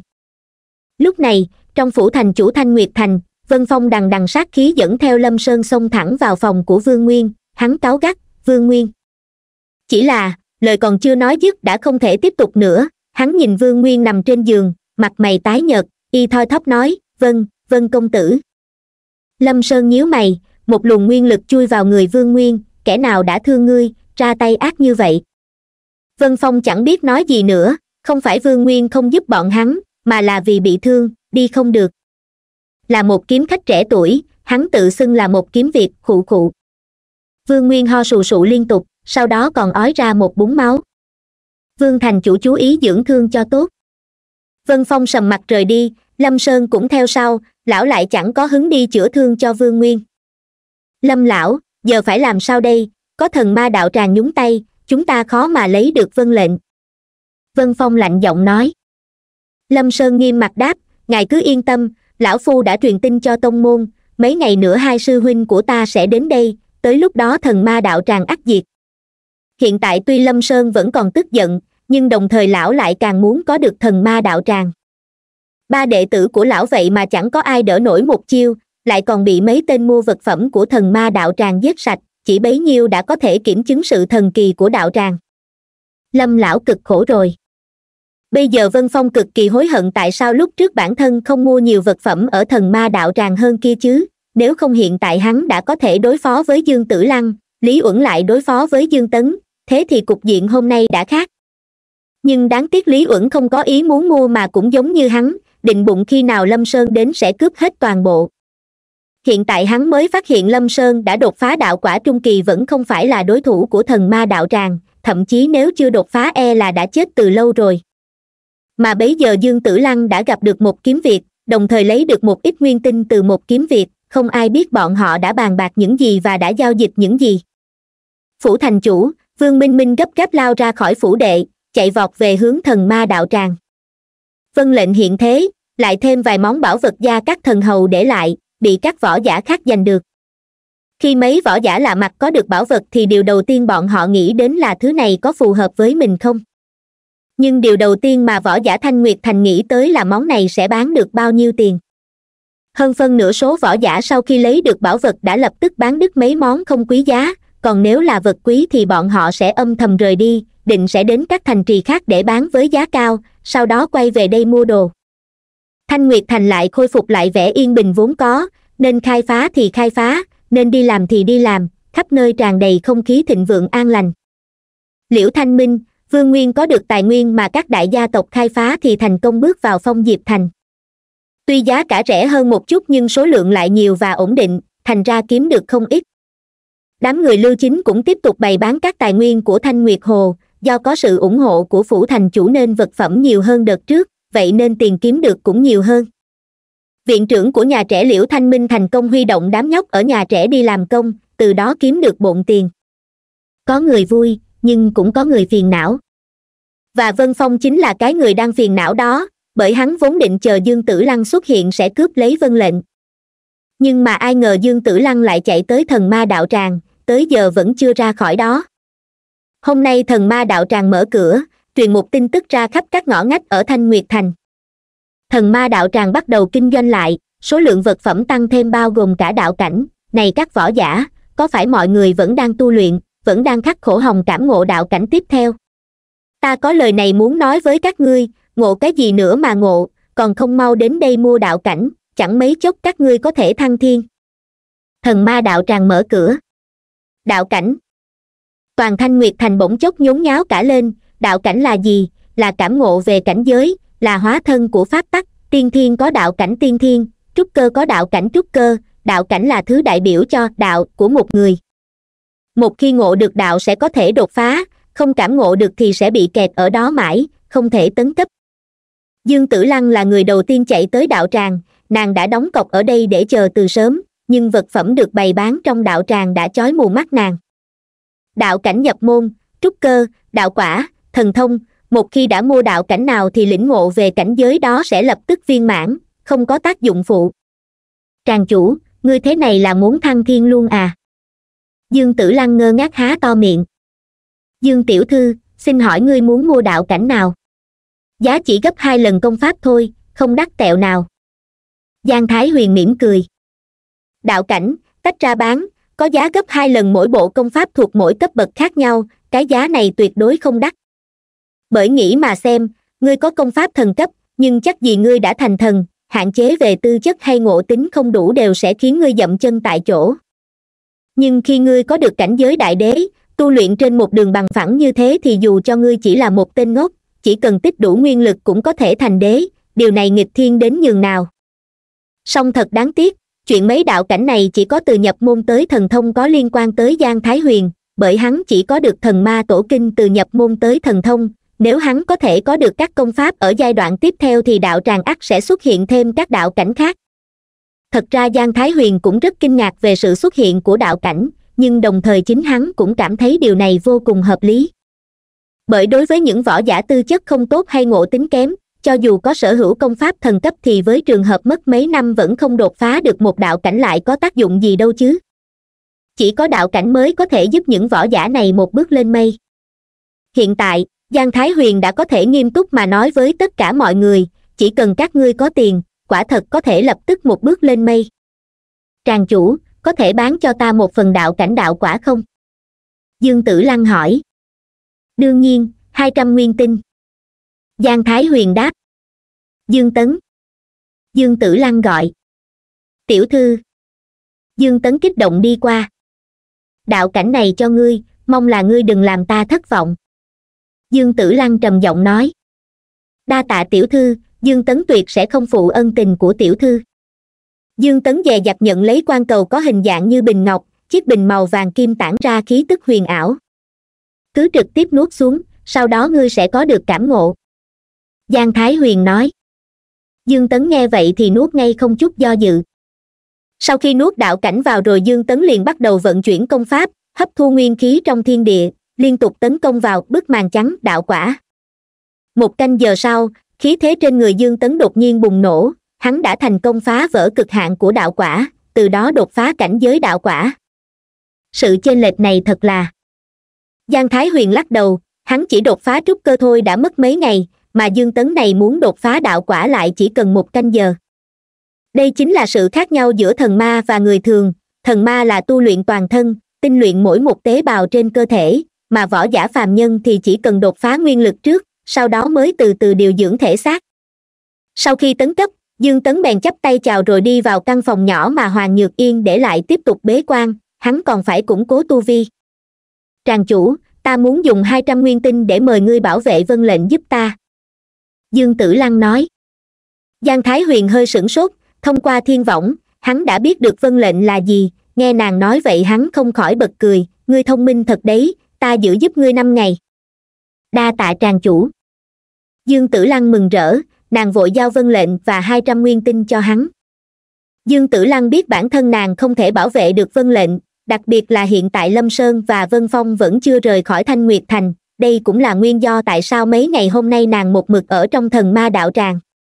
Không phải nàng không muốn đi, mà là nàng không dám đi, bởi vừa bước chân ra khỏi nơi này, chắc chắn vân lệnh sẽ bị cướp mất. Trong cả tòa thành thanh nguyệt này, chỉ có nơi đây mới là nơi an toàn nhất, mà điểm quan trọng nhất chính là người ở đây không ham muốn vân lệnh. Tràng chủ, đạo cảnh, có phải chỗ này có bán đạo cảnh không? Ta muốn mua đạo cảnh tiên thiên. Vương minh minh sốt ruột chạy tới hai trăm nguyên tệ. Ôi chao minh minh này, ngươi phát triển nơi này lâu như vậy, sao vẫn là một tên nghèo kiết thế? Giang thái huyền càm ràm một câu rồi đưa hắn đạo cảnh tiên thiên. Vương minh minh cười hề hề nuốt đạo cảnh tiên thiên xuống bụng rồi tức khắc đột phá.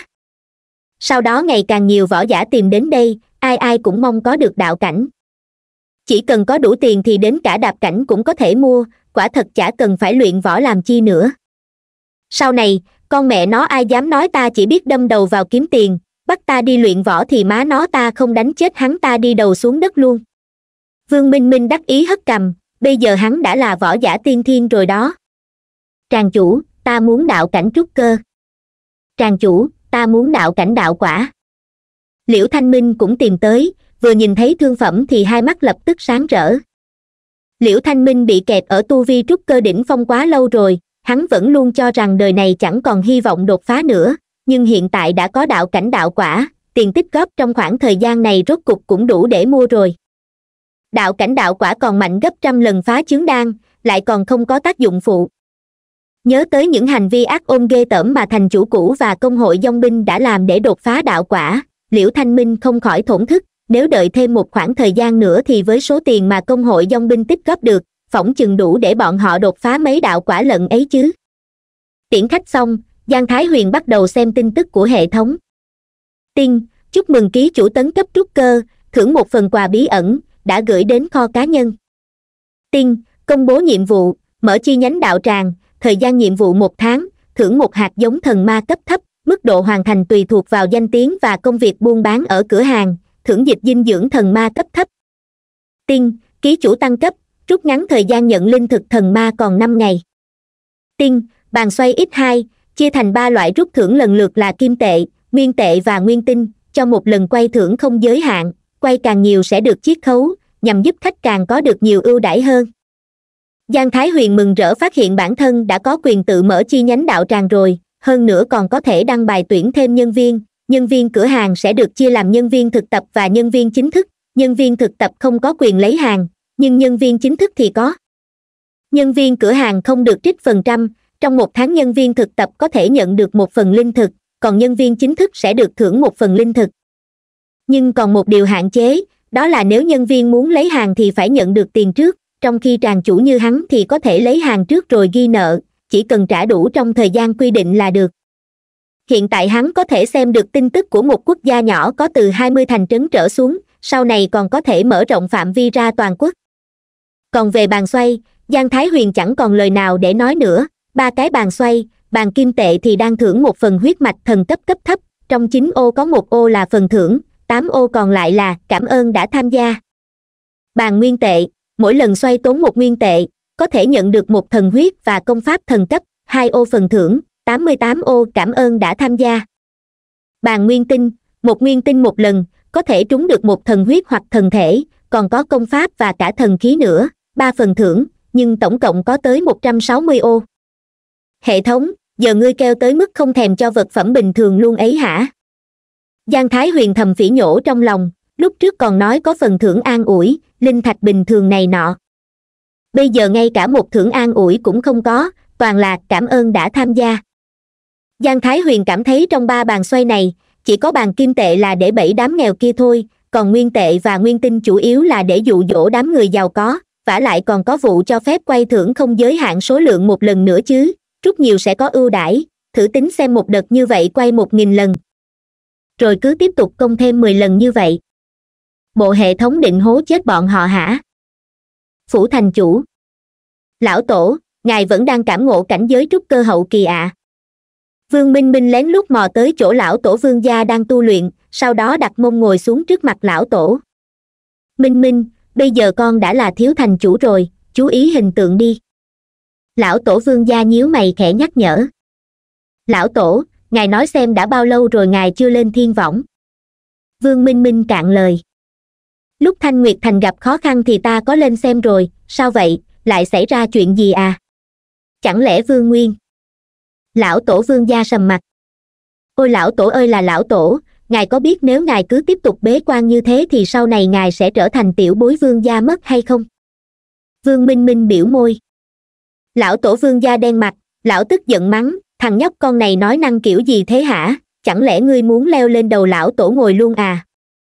Nếu không phải thiên phú của vương minh minh không tệ, ngay từ nhỏ đã được yêu thương, hơn nữa lão cũng thích hắn thì thử đổi thành đệ tử khác ở vương gia mà xem, dám ăn nói như vậy trước mặt lão lão sẽ đánh cho chết luôn ấy lão tổ ngày phải theo kịp thời đại đi thôi. Liễu thanh minh cũng đã tấn cấp đạo quả thành công rồi đó. Qua mấy ngày nữa khắp thanh nguyệt thành này sẽ nhan nhãn toàn đạo quả cho coi. Vương minh minh bất đắc dĩ mở thiên võng ra. Ngài xem này, thần ma đạo tràng bắt đầu mở bán bí cảnh luôn rồi. Vậy mà ngài còn nhốt mình trong căn phòng nhỏ này để ngủ á. Bộ thú vị lắm sao? Không phải lão tổ ngủ, lão tổ đang cảm ngộ cảnh giới. Tu luyện đó biết chưa? Lão tổ vương gia tức điên lên lão quét mắt nhìn thiên võng một cái rồi sững sờ, ngay cả hô hấp cũng trở nên dồn dập, đạo cảnh đạo quả. Lão tổ, tu vi trúc cơ của ngài còn hơi thấp, con đã mua đạo cảnh trúc cơ cho ngài rồi, sau khi hấp thu ngài sẽ đạt được cảnh giới trúc cơ viên mãn, đủ để ngài tu luyện đến trúc cơ đỉnh phong, đến lúc đó lại mua thêm đạo cảnh trúc cơ và linh khí tiên thiên, vậy là có thể bay thẳng lên đạo quả rồi, ôi chao, lão tổ, ngài kéo con làm gì? Ngài muốn dẫn con đi đâu thế? Vương minh minh đang kích động rần rần, nhưng chưa kịp nói xong đã bị lão tổ kéo ra ngoài. Giờ còn cảm ngộ cái đích gì nữa, đi, để lão tổ bán tổ trạch cái đã. Nếu thấy hay thì nhớ like và đăng ký kênh để ủng hộ mình nha. Lão tổ trần gia, lão tổ các đại gia tộc khác và lưu chính cũng như các gia tộc nhỏ đều đua nhau liều mạng kiếm tiền, mua đồ.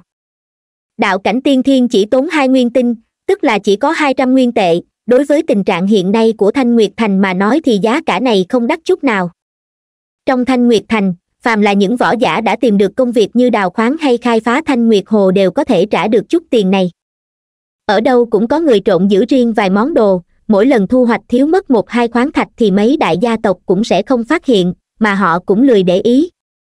Vả lại vì muốn những võ giả này cố gắng làm việc mà đám người lưu chính ra tay rất phóng khoáng mấy món mà họ không vừa ý sẽ đưa hết cho các võ giả để họ tự phân chia với nhau, bọn họ đem đi bán hay giữ lại cũng gom góp được không ít tiền. Là thanh nguyệt thành này điên rồi. Hay là ta điên rồi? Một kiếm việc hoang mang, con mẹ nó mới bao lâu đâu mà võ giả ở đây mười người hết ba người là tiên thiên. Tôn nghiêm võ giả của các ngươi đâu? Sự kiêu ngạo của các ngươi đâu? Một kiếm việc không bình tĩnh nổi nữa hắn vậy mà lại nghe thấy ba võ giả tiên thiên này định đến thanh nguyệt hồ để làm công. Má nó, đã tiên thiên rồi mà còn chạy đi làm công cho người khác. Không chỉ có một kiếm việc không bình tĩnh mà vân phong, dương tử lăng cũng vậy. Bọn họ khắc khổ tu luyện cả mấy năm trời mới đột phá được tiên thiên, còn được người khác tôn làm thiên tài. Ấy vậy mà ở thanh nguyệt thành này, chỉ cần bỏ ra chút tiền là có thể trở thành tiên thiên, sự chênh lệch này có phải lớn quá rồi không? Nếu có đủ tiền thì đội quân của phụ vương việc lớn của phụ vương lo gì mà không thành chứ? Dương tử lăng cười khổ. Nhưng nàng không mua nổi nhiều thứ như vậy. Không chỉ nàng mua không nổi, mà đến cả phụ vương của nàng cũng chẳng có nhiều tiền như vậy. Thu hoạch hôm nay phong phú phết nhỉ. Tại thần ma đạo tràng, giang thái huyền xoa xoa cổ tay, tiền hôm nay kiếm được cũng sắp xỉ đợt mọi người tranh mua lần trước, hắn được hơn năm nghìn nguyên tệ. Số tiền này phải nói là cực nhiều vì nó đồng nghĩa với việc những võ giả này đã tiêu chừng năm trăm nghìn nguyên tệ ở chỗ hắn, con số này quả thật không hề nhỏ chút nào. Trên thiên võng, vô số võ giả tiên thiên đang kêu rên. Tràng chủ ác quá đi mất, ta mà sớm biết như vậy thì sẽ không mua nữa, nếu hồi đợt trước khi mà đạo tràng đóng cửa, ta mà nhịn không mua thì bây giờ đã có thể mua đạo cảnh rồi. Một tiên thiên khóc lóc ỉ ôi. Nhưng không chỉ có mỗi mình hắn mà còn rất nhiều võ giả khác cũng đau đớn không thôi nếu lúc trước bọn họ để tiền đó không mua gì thì bây giờ bọn họ cũng có thể mua được đạo cảnh rồi. Giang thái huyền tốt tính không trả lời bọn họ. Lúc trước hắn đã nói rõ đạo tràng có thêm vật phẩm mới, đám người này bột chộp không đợi nổi lại có thể trách ai đây? Không bẫy mấy người thì bẫy ai? Để ta xem phần thưởng bí ẩn của ta cái nào.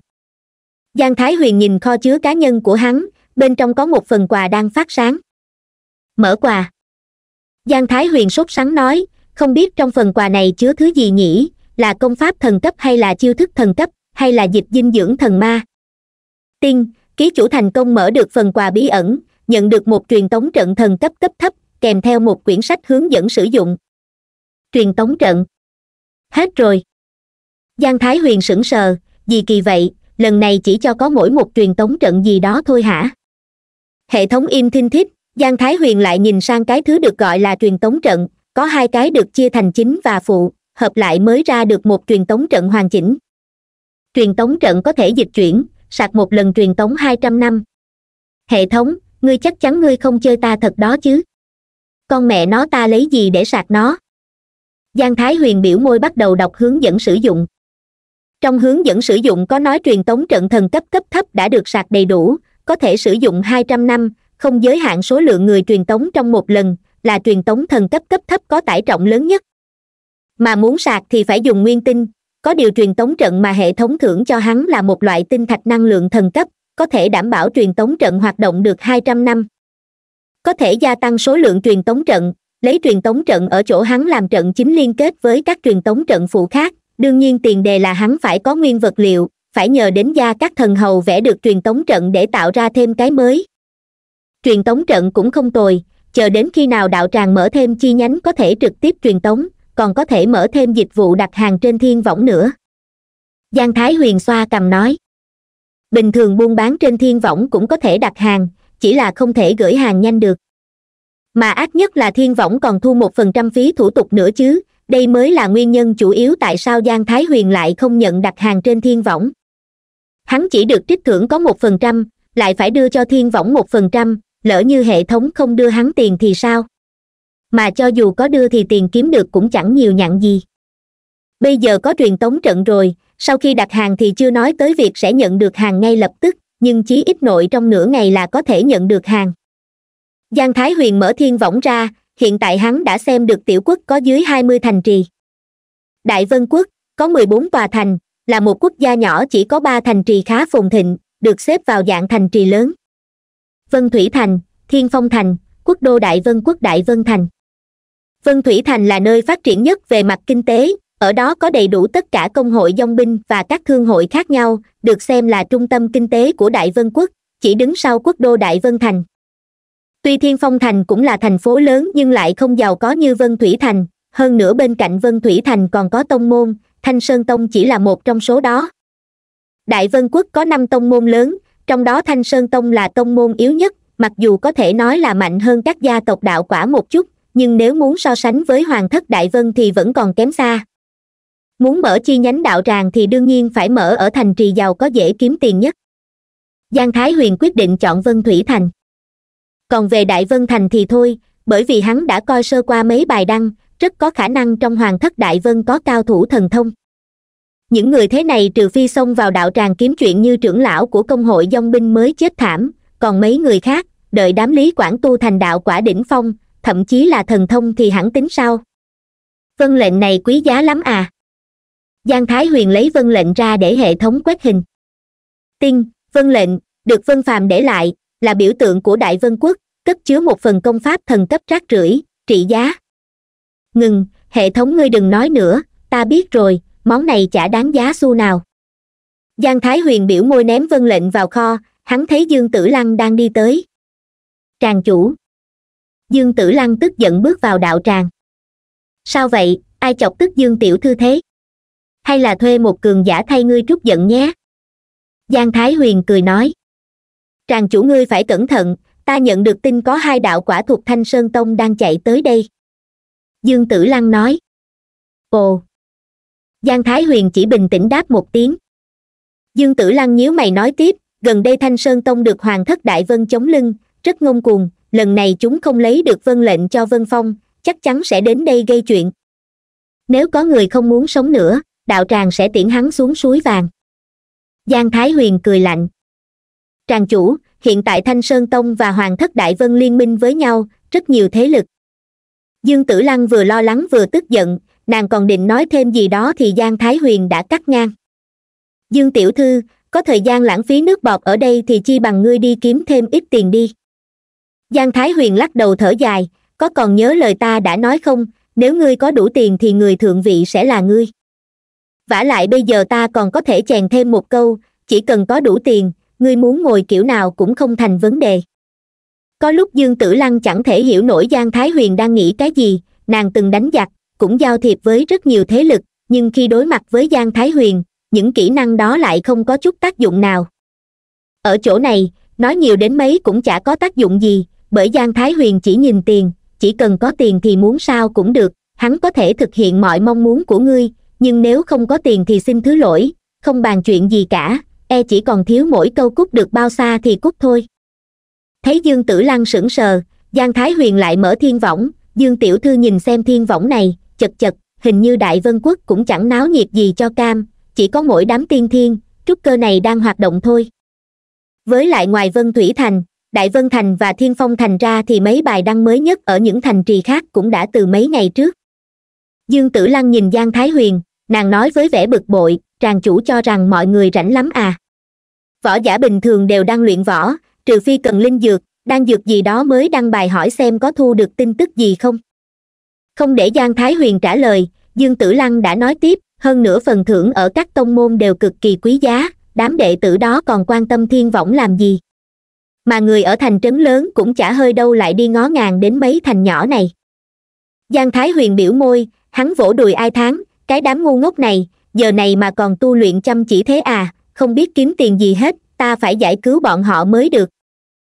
Ngươi chắc chắn ngươi sẽ giải cứu bọn họ chứ không phải bắt bọn họ tiêu tiền cho ngươi chứ dương tử lăng chẳng biết nói gì hơn, chẳng qua nàng vẫn hơi bất ngờ về lời giang thái huyền vừa nói, tràng chủ định rời thanh nguyệt thành à? Giang thái huyền cười nói, chỉ nói vậy thôi, dương tiểu thư có muốn mua gì không? Đừng nói là ngươi đến đây chỉ để nói ta biết về thanh sơn tông đó nhé. Ta chỉ tới báo tin thôi. Dương tử lăng nói xong thì rời khỏi đạo tràng. Giang thái huyền nhìn theo dương tử lăng đi mất rồi mới nhận linh thực miễn phí mà hắn vẫn chưa nhận trong khoảng thời gian đang đột phá giang thái huyền nhận được thần huyết đang đang định luyện hóa nó thì nhận được một thông báo trên thiên võng, bạn có một đơn hàng mới, có nhận hay không? Đơn hàng? Giang thái huyền sửng sốt, hắn đã đột phá trúc cơ, thần ma đạo tràng cũng đăng nhập vào thiên võng thuộc khu vực của đại vân quốc mười bốn thành trì nên mấy người này có thể thấy được, nhưng cái người đặt hàng này bị mù à. Rõ ràng hắn đã viết tạm thời không cung cấp dịch vụ trên thiên võng, sao người này còn đặt hàng chứ? Giang thái huyền mở thiên võng nhấn vào phần giao dịch, thấy một tin nhắn gửi từ chi nhánh đạo tràng vân thủy thành, thần ma đạo tràng, ta muốn nâng cấp bậc tu chất, ta muốn gia nhập thanh huyền tông. Người gửi, công tử vô song. Vị công tử vô song này để lại không ít lời nhắn, ban đầu còn hoài nghi chất vấn, thái độ còn khó chịu không thôi, cuối cùng lại là tin nhắn muốn đặt hàng. Tự đến thanh nguyệt thành mua, tạm thời không cung cấp dịch vụ mua bán trên thiên võng. Giang thái huyền trả lời lại một câu rồi thẳng tay từ chối giao dịch ơ đẹp, có tiền cũng không muốn kiếm hả? Sau khi đặt hàng xong thì công tử vô song vẫn luôn thấp thỏm chờ tin, nhưng kết quả lại khiến hắn sửng sốt vô cùng, đối phương không chịu bán. Ta đồng ý trả với giá cao, thần ma đan, đạo cảnh, ta đều sẽ trả gấp hai lần giá gốc. Trong vòng ba ngày, mang hàng đến cho ta. Công tử vô song sốt ruột cực kỳ, hắn muốn vào thanh huyền tông, bởi thanh huyền tông là đại tồn môn, một khi vào đó là có thể học được các chiêu thức võ kỹ càng cao cấp hơn bây giờ, nếu may mắn còn có thể được đạo quả chỉ điểm. Hoặc là ngươi đến thanh nguyệt thành, hoặc là ngươi cứ đợi đấy, đợi khi nào ta có hứng mở thêm một chi nhánh ở đó thì ngươi hẳn qua mua. Giang thái huyền đáp lại một câu rồi đóng thiên võng, bắt đầu luyện hóa thần huyết đan. Ta. Công tử vô song ngơ ngác nhìn thiên võng rồi lại nhìn thần ma đạo tràng giả lập ở vân thủy thành, trên đời này còn có người nghe thấy trả gấp hai lần giá gốc cũng không chịu bán à đến thanh nguyệt thành. Mơ đi, thanh huyền tông chỉ tuyển sinh mấy ngày này thôi, hắn mà đi thật thì chưa kịp quay về vân thủy thành, người ta đã chiêu sinh xong cả rồi, mua được cũng chẳng có tác dụng gì. Vả lại ai mà biết đây là thật hay giả. Hắn lại thử đặt hàng thêm một lần nữa, nhưng tiếc rằng giang thái huyền không chấp nhận đơn hàng, vì thế công tử vô song chỉ có thể tức tối tắt thiên võng, lớn tiếng chửi một câu mẹ nó. Cùng lúc đó trong thần ma đạo tràng giang thái huyền đang luyện hóa một viên thần huyết đan, cảm giác thấy không tệ lắm. Còn về việc tên kia đòi mua với giá gấp hai, hắn cũng chẳng còn cách nào khác, giá là do hệ thống định ta, hắn không thể tự ý sửa được, đã báo giá bao nhiêu thì chỉ được nhận bao nhiêu đó, hệ thống rất cứng nhắc về việc này. Võ tòng thì phải đợi thêm mấy ngày, nhưng lý nguyên bá thì ngày mai là có thể xuất quan rồi. Giang thái huyền chớp mắt nghe lý quảng truyền âm. Dù sao thực lực của võ tòng cũng hơi kém một chút cho dù có đủ thần ma đan thì cũng cần có thời gian để luyện hóa.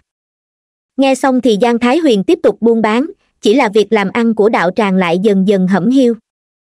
Thanh nguyệt thành vốn là một thành nhỏ, đều nhờ vào các võ sĩ lạ mặt đến từ bên ngoài nên thu nhập của hắn mới nhiều như vậy, nếu không có sự xuất hiện của những người đó thì không biết năm nào tháng nào hắn mới đột phá trúc cơ được.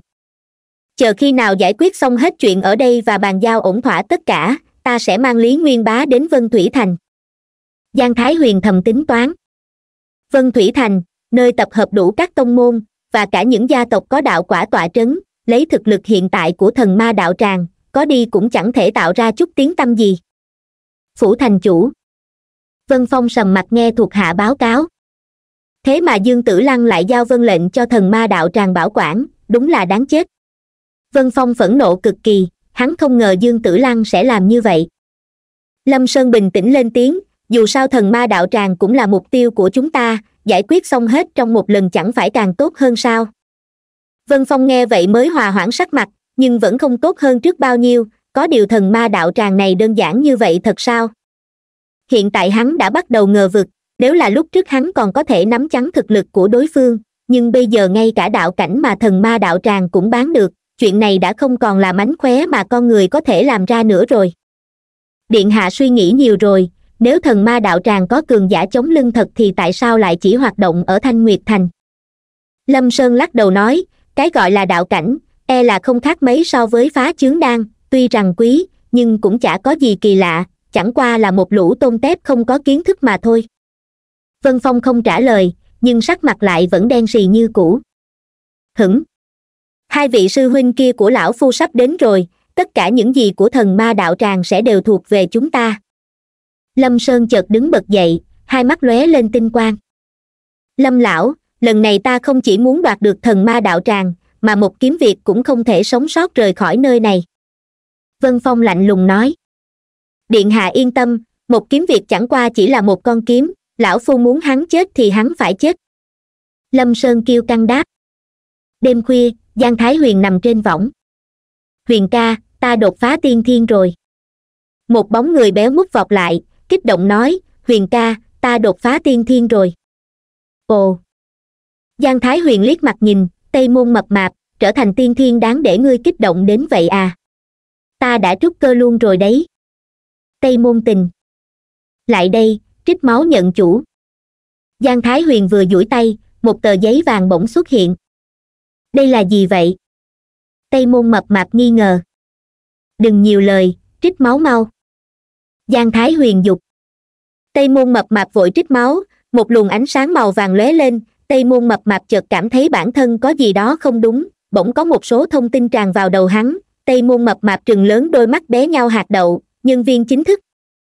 Ngươi gặp may đấy, một tháng có thể nhận hai phần linh thực. Giang thái huyền mở miệng chúc mừng, tây môn mập mạp còn chưa kịp vui vẻ thì hắn lại nói, sau này ngươi phụ trách đạo tràng ở thanh nguyệt thành, chính thức trở thành thành viên của thần ma đạo tràng huyền ca, ta vẫn chưa hiểu lắm, ý ngươi là sao? Trong đầu tây môn mập mạp xuất hiện vô số thông tin, khiến hắn hơi bối rối một chút. Một đêm yên bình không có chuyện gì xảy ra. Mãi đến lúc mặt trời lên cao giang thái huyền mới rời giường, đạo tràng đã có tây môn mập mạp trông coi nên cũng không cần hắn quan tâm quá nhiều. Lý nguyên bá, lý quảng và gia các thần hầu đang ngồi ở bàn gỗ do a hoài chế tạo nói chuyện phím. Tây môn mập mạp khổ sở ngồi ở giữa ba người mặt mày sưng vù. Lý nguyên bá xuất quan rồi à? Giang thái huyền tìm một cái ghế ngồi xuống. Tràng chủ, ta đã thành công tiến vào đạo quả. Lý nguyên bá mỉm cười nói, thu liễm khí tức, không lộ ra mảy may. Huyền ca. Tây môn mập mạp đang nghe truyện trên tv audio cv ấm ức gọi hắn. Lý nguyên bá mặt không đổi sắc, thản nhiên nói, đánh thay võ tòng. Giang thái huyền quả quyết không để ý đến tây môn mập mạp, hắn nói nếu ngươi đã đột phá đạo quả, vậy chúng ta cũng nên về vân thủy thành mở chi nhánh đạo tràng. Ba vị thần ma gật đầu, tây môn mập mạp rất muốn xen vào một câu, nhưng sau khi nhìn nhìn ba vị thần ma một chút thì vẫn là rụt cổ lại, ngậm miệng không nói thêm gì. Trước tiên phải giải quyết ba tên tiểu tặc đã. Lý nguyên bá đột nhiên cười lạnh một tiếng, nhúng người nhảy lên. Trên không trung có ba bóng người đang bay nhanh như tên mà đến. Thanh sơn tông à giang thái huyền nỉ non. Lý quảng, gia các thần hầu bình thản nhìn, không có ý định nhúng tay vào. Thùng thùng. Tiếng bước chân truyền đến, vân phong chắp tay, trong lãnh thổ của đại vân, tất cả đều thuộc về đại vân quốc, thần ma đạo tràng có ý đồ tạo phản. Đợi chút. Giang thái huyền nhướng mày, ngắt lời nói, ngươi không được đi học à? Vân phong ngẩn ngơ, chuyện này cùng chuyện hắn có đi học hay không có liên quan gì? Hắn vốn là hoàng tử sao có thể không đi học? Nào, ta dạy cho ngươi. Giang thái huyền quơ quơ tay, lạnh nhạt nói, đất đai trong thiên hạ đều là đất của vua, mà người sống ở trên đất này đều phải quỳ phục xưng thần, câu này hẳn phải nói như vậy mới đúng chứ? Ngươi. Mặt vân phong đỏ lên, mẹ kiếp, bị đã kích. Tràng chủ văn hay chữ tốt, tử lăng bội phục. Một tiếng vỗ tay vang lên, dương tử lăng bước tới. Dương tiểu thư ta cũng có một câu dạy cho ngươi. Giang thái huyền cười nhạt nói. Ồ! Tràng chủ muốn dạy ta câu gì? Dương tử lăng nghi hoặc. Ngươi thích hợp với câu này. Giang thái huyền chậm rãi đứng dậy, tỏa ra một khí thế đặc biệt, tất thảy trong thiên hạ, đều là của trẫm. Dương tử lăng có chút sững sờ, gượng cười nói, tràng chủ nói đùa, tử lăng một lòng trung quân ái quốc. Được rồi, mặc kệ các ngươi giang thái huyền khoát khoát tay, thần ma đạo tràng của ta chỉ chuyên về chuyện kinh doanh, không nhúng tay vào chuyện của các ngươi, về vân lệnh ta sẽ bảo quản năm ngày, để người của thanh sơn tông rời đi thì ta sẽ coi như chuyện này chưa từng xảy ra. Nực cười, một đám tép triêu các ngươi thật sự cho rằng chỉ dùng một đạo quả sơ kỳ là đã có thể ngăn cản được bọn ta. Y cười lạnh một tiếng, khí thế mãnh liệt, vùng trời này, thuộc về đại vân quốc. Nếu đã vậy thì, lý nguyên bá phiền ngươi bảo vệ đạo tràng trục xuất đạo chích. Giang thái huyền nhẹ nhàng nói. Ầm ầm.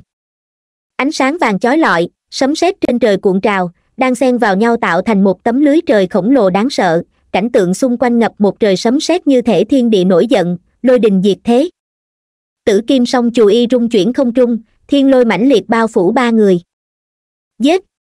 Tam đại đạo quả đồng thời xuất thủ, lâm sơn đạo quả trung kỳ và hai vị còn lại là đạo quả sơ kỳ oanh một tiếng nổ ầm trời vang lên, thiên lôi bao phủ ba người kia, song chù y của lý nguyên bá dần dần mờ đi rồi biến mất không thấy gì nữa, hắn chắp tay đáp xuống, xong.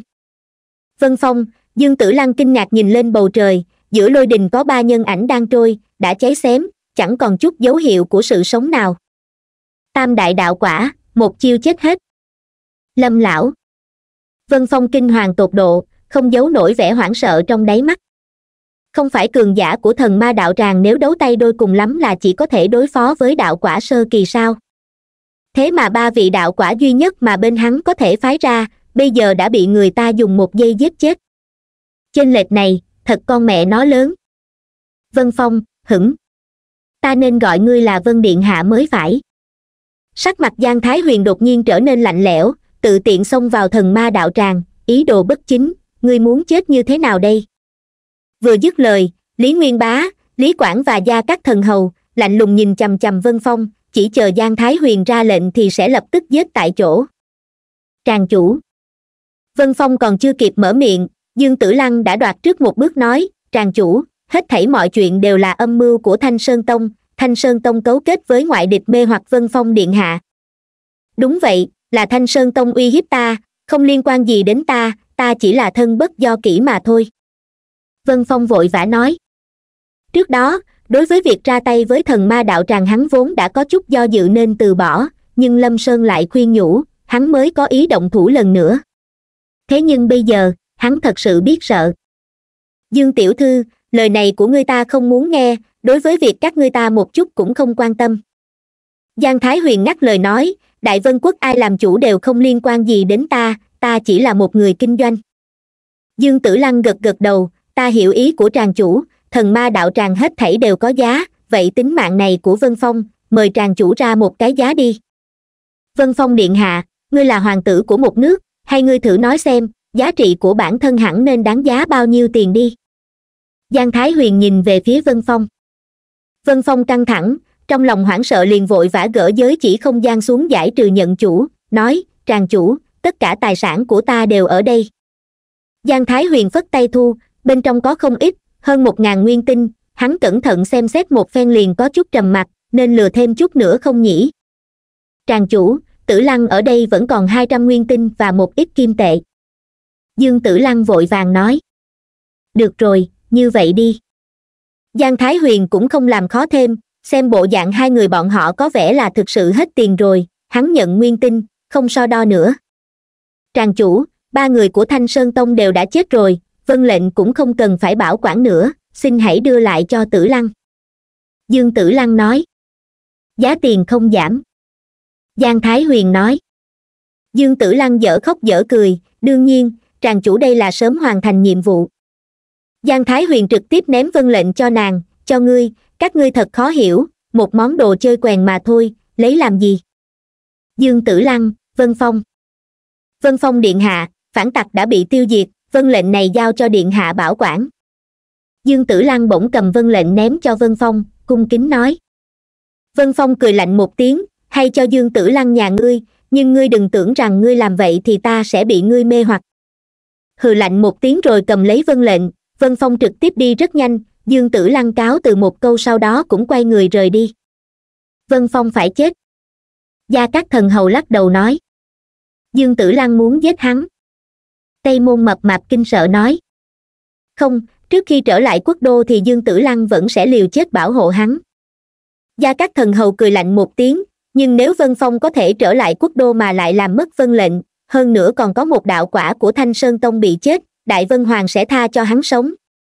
Tây môn mập mạp không đủ thông minh, nghe không hiểu. Giang thái huyền cũng không thèm để ý việc này, chuyện này không phải chuyện của chúng ta, không cần quan tâm làm gì, tây môn mập mạp ngươi hiện tại đã quen với quy trình của đạo tràng chưa? Tây môn mập mạp liền vội vàng gật đầu, ta đã quen rồi, hôm nay đã bán được mấy phần linh khí tiên thiên. Ừm, vậy ở đây sẽ giao cho ngươi, thần hầu, ngươi cầm cái này bố trí ở đạo tràng một chút, lý nguyên bá theo ta. Giang thái huyền giao truyền tống chủ trận cho gia các thần hầu. Gia các thần hầu đưa tay nhận lấy, tràng chủ yên tâm. Tây môn mập mạp, nếu đạo tràng có chuyện gì khó quyết định thì tìm gia các thần hầu hắn sẽ liên lạc với ta. Giang thái huyền đứng dậy. Thanh nguyệt thành đã không còn gì cần làm nữa rồi, đã đến lúc nên đi vân thủy thành. Lý nguyên bá trực tiếp mang giang thái huyền bay đi, có đạo quả đi cùng quả nhiên so với bình thường tự đi nhanh hơn nhiều.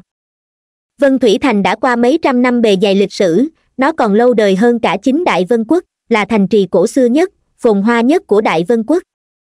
Năm đại tông môn, bảy đại gia tộc và các thương hội công hội dong binh đều có chi nhánh ở đây. Khi giang thái huyền và lý nguyên bá tới được vân thủy thành đã là chuyện của hai ngày sau, từ đó có thể thấy được hai nơi này cách nhau rất xa. Tràng chủ, chúng ta trực tiếp vào thành luôn à? Lý nguyên bá hỏi, mang theo giang thái huyền đáp xuống ở ngoài thành. Dĩ nhiên là không, vân thủy thành là một thành lớn, khẳng định là tất đất tất vàng.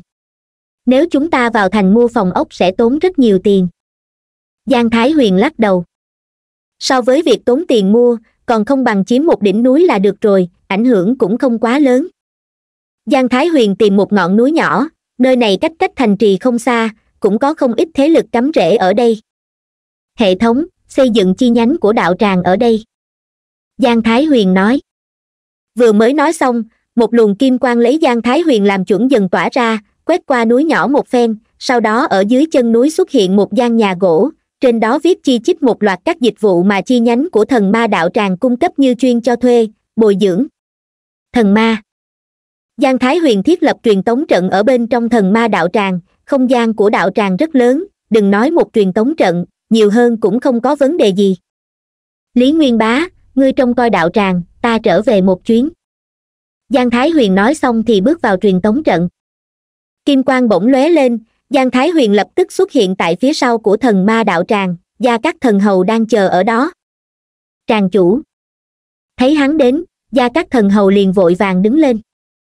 Làm phiền thần hầu.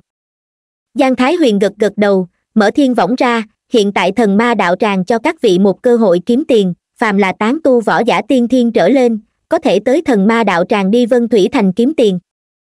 Kiếm tiền. Tràng chủ, kiếm tiền như thế nào? Một đám tiên thiên võ giả vội vàng đáp lại. Từ khi thần ma đạo tràng xuất hiện, những người này cơ bản thời khắc đều mở thiên võng, sợ bỏ lỡ bất kỳ một tin tức mới nhất nào đó.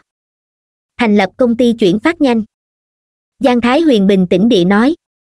Chuyển phát nhanh. Một đám người ngơ ngác, chuyển phát nhanh là cái gì?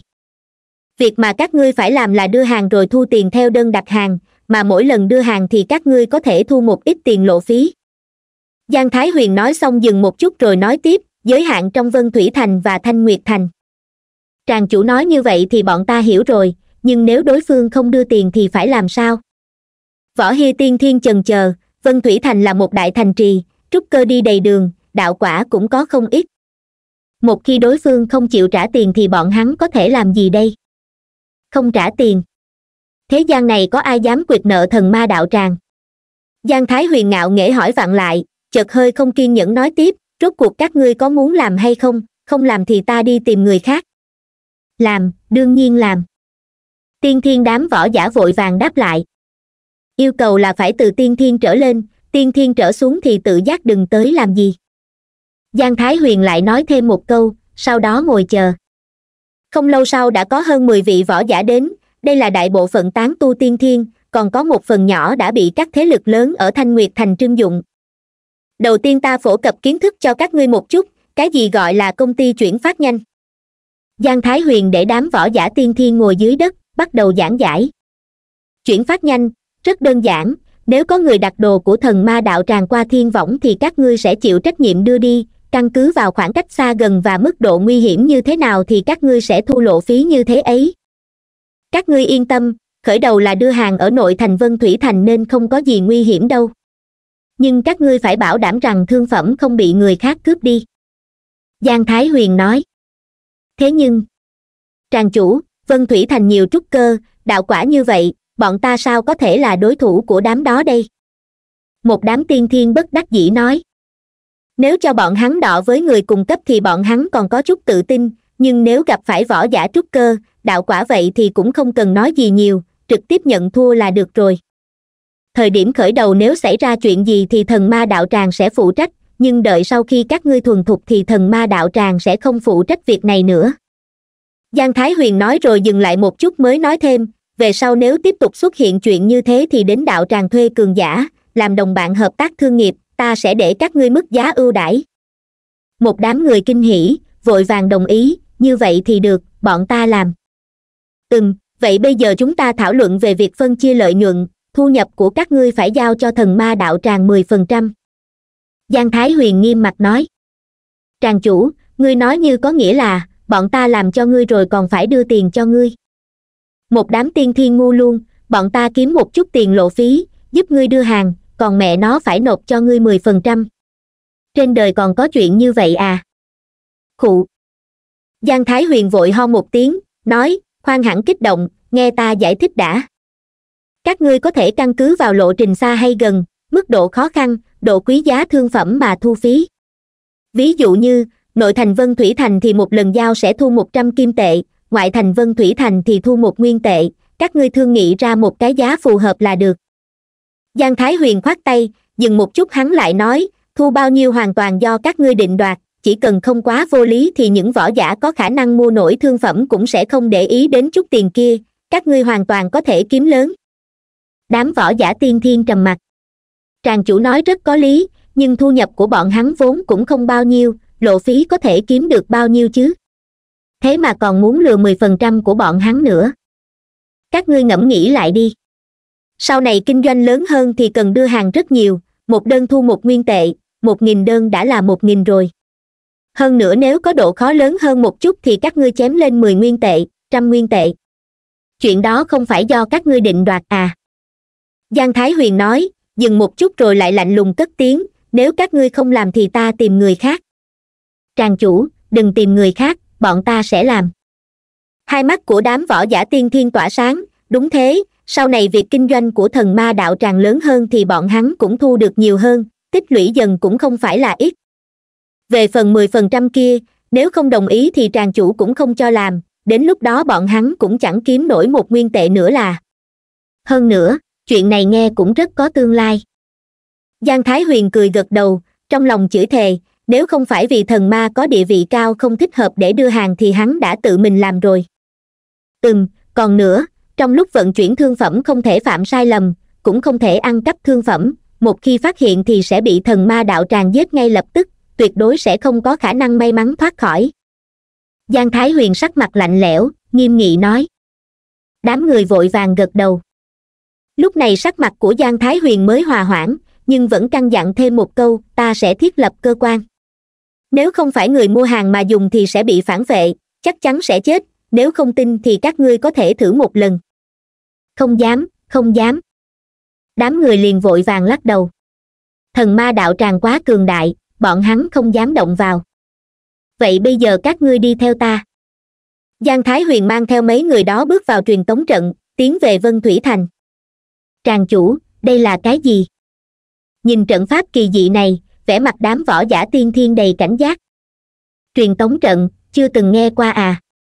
Giang thái huyền ngơ ngác, vẻ mặt khinh bỉ nói, còn gọi là võ giả gì nữa chứ, đến cả truyền tống trận cũng không biết, thật con mẹ nó mất mặt. Đám võ giả tiên thiên im lặng, rất muốn phản bác một câu rằng bọn hắn chỉ là tiên thiên ở một cái thành nhỏ, gặp truyền tống trận kiểu gì. Thôi vậy truyền tống trận có thể đưa các ngươi đến một địa phương khác, sau này lại giải thích thêm cho các ngươi, trước tiên theo ta đã. Giang thái huyền lười giải thích, dẫn đầu bước vào truyền tống trận. Gia các thần hầu dùng một bàn tay hất toàn bộ một đám võ giả vào, căn bản không cho bọn hắn thời gian tìm tòi nghiên cứu. Thần ma đạo tràng giả lập giờ phút này cũng đã thay đổi, có thể nhận đơn đặt hàng ở vân thủy thành, thanh nguyệt thành trên thiên võng nhưng không cần phải giao tiền trên thiên võng. Vân thủy thành chi nhánh thần ma đạo tràng.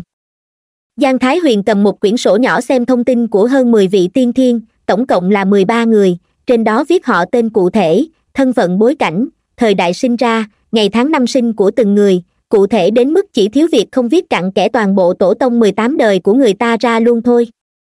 Rất tốt, thông tin của các ngươi đây rồi. Giang thái huyền gật đầu, sau đó nói, nếu tất cả mọi người đã có ý cùng nhau thành lập công ty chuyển phát nhanh vậy thì ta sẽ phổ cập kiến thức cho mọi người một chút. Công ty chuyển phát nhanh, chủ yếu là cần một chữ thôi, nhanh. Người mua sắm thương phẩm chắc chắn muốn càng nhanh lấy được hàng càng tốt, không thể để cho người mua sốt ruột chờ đợi. Tràng chủ nói có lý. Một đám người gật đầu. Ừm, về phần bảo quản, bảo trì thương phẩm như thế nào cho không hư hao thì không cần các ngươi phải bận tâm, đạo tràng sẽ lo phần đóng gói. Giang thái huyền nói nhìn đám người đang tập trung tinh thần lắng nghe, giang thái huyền tiếp tục nói, hơn nữa, các ngươi cũng nên có một cái tên, đại loại như công hội dong binh, vạn dịch thương hội, bất kỳ một tổ chức nào cũng cần có một cái tên. Tràng chủ, chuyện này thì đơn giản, gọi là công ty chuyển phát nhanh chạy vặt. Một vị võ giả tiên thiên nói trước một câu. Chạy vặt. Cái tên này hay đó, nói đúng vào bản chất công việc của chúng ta. Mấy vị tiên thiên còn lại dùng vẻ mặt tán thưởng nói con mẹ nó đang nói đùa à. Chạy vặt. Giang thái huyền mặt đen thui nói, chân của các ngươi có thể chạy nhanh đến mức nào? Công ty chuyển phát nhanh chủ yếu cần sự nhanh chóng, các ngươi có ngốc không vậy? Vậy gọi là phi hành, ngự không phi hành, tốc độ này chắc chắn được coi là nhanh rồi. Một vị võ giả tiên thiên nói. Phi cái mẹ ngươi. Giang thái huyền rất muốn chửi bậy một câu nhưng cân nhắc đến vấn đề dù sao đám người này mặc dù có đọc qua sách nhưng trình độ văn hóa cũng không quá cao, gọi phong trì thì được hơn, nhanh như chớp, một giây là có hàng. Tràng chủ. Ừm có nghĩa là gì? Mười vị võ giả tiên thiên ngơ ngác. Các ngươi chờ một chút. Giang thái huyền nâng trán, sau đó nhìn về phía lý nguyên bá đang đứng một bên. Nguyên bá, ngươi mau trở về thêm vào một môn học vào chương trình học của nhà trẻ thanh nguyệt, học chữ đám người. Tràng chủ, ta cảm thấy cái tên phi hành rất hay. Một võ giả tiên thiên nhịn không được nói. Gọi là nhanh như chớp, không hiểu nhanh như chớp có nghĩa gì à? Gió có nhanh không? Tia sét có nhanh không? Nhanh như chớp chính là hình dung giữa tốc độ của gió và tia sét. Tràng chủ, bọn ta hiểu rồi, nhưng cái câu một giây thì có ý gì? Đám võ giả tiên thiên ngắt lời hỏi. Giang thái huyền trầm mặt một giây là có ý gì? Ban nãy các ngươi vừa rồi nghe nhầm rồi, ta không phải nói một giây mà là tức khắc. Giang thái huyền nói dối trắng trợn, nghiêm túc nói, nhanh như chớp, có hàng ngay tức khắc, quyết định vậy đi, gọi là công ty chuyển phát nhanh phong trì. Vậy còn điện xế thì sao? Một vị võ giả tiên thiên nghi hoặc. Giang thái huyền lười giải thích nên cuối cùng cưỡng ép bọn họ chấp nhận cái tên công ty chuyển phát nhanh phong trì, để bọn hắn sớm tổ chức, đổ bộ vào thiên võng trên thiên võng, tin tức của chi nhánh thần ma đạo tràng cũng đã được sửa lại thành nhận đơn đặt hàng ở vân thủy thành, thanh nguyệt thành qua thiên võng, hàng đến trả tiền, không có dịch vụ thu tiền qua thiên võng. Ngoài ra không có bưu phí, được công ty chuyển phát nhanh phong trì vận chuyển. Công ty chuyển phát nhanh phong trì, nhanh như chớp, tốc độ cực nhanh. Trong nội thành thanh nguyệt thành, vân thủy thành nếu không có sự cố gì thì chỉ cần một canh giờ là hàng tới, nếu có vấn đề gì cho trả hàng thoải mái giang thái huyền cũng liệt kê ra những trường hợp đặc biệt có thể phát sinh, trong những trường hợp đặc biệt thì không nắm chắc được thời gian giao tới. Sau đó đám võ giả tiên thiên bắt đầu đốn củi, tìm đá lớn xây dựng phòng ốc, đồng thời cũng treo bản hiệu lên, công ty chuyển phát nhanh phong trì, nhận vận chuyển thương phẩm của thần ma đạo tràng trong phạm vi thanh nguyệt thành và vân thủy thành. Giang thái huyền ngồi ở cửa ra vào, không tuyên truyền thì sẽ không có người biết đến hắn. Trong vòng một tháng ta sẽ khiến cho toàn bộ vân thủy thành chấn động. Giang thái huyền lại bắt đầu viết quảng cáo.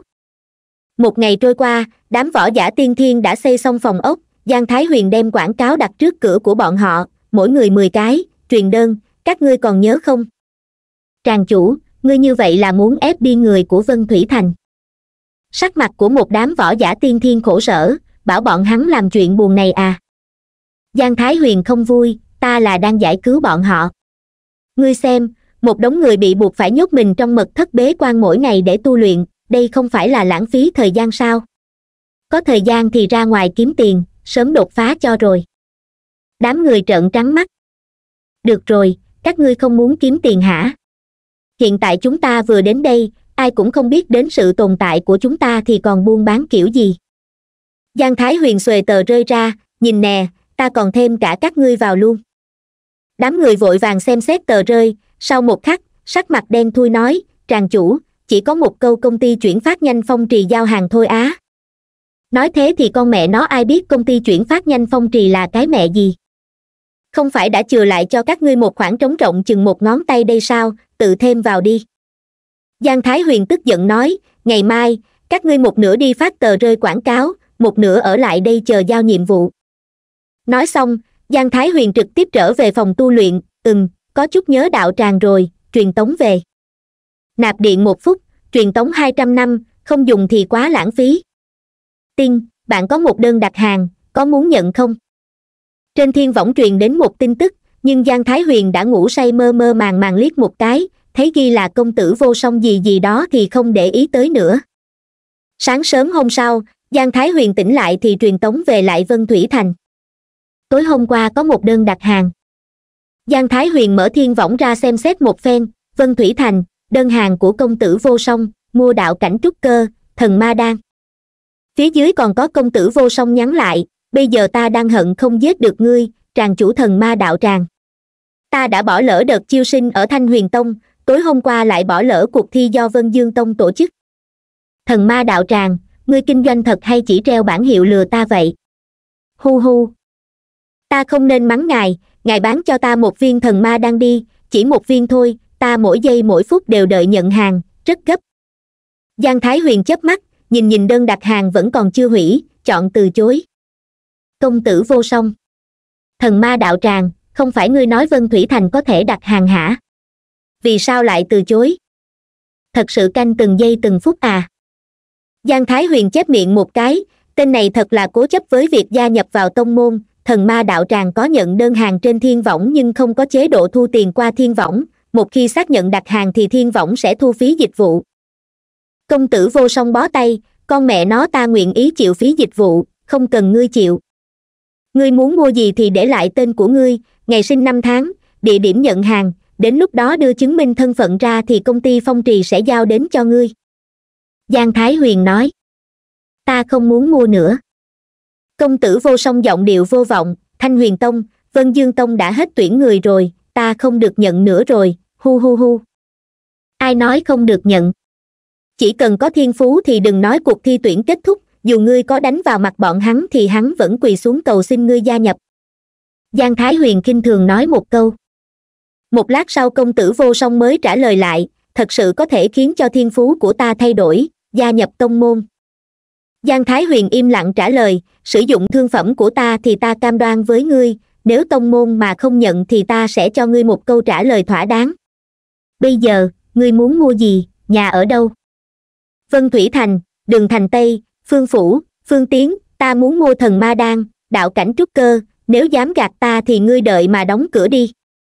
Căn cứ vào địa điểm và mức độ quý giá của thương phẩm thì phí vận chuyển, cũng chính là phí giao hàng là một nguyên tệ tổng cộng là mười hai nghìn nguyên tệ.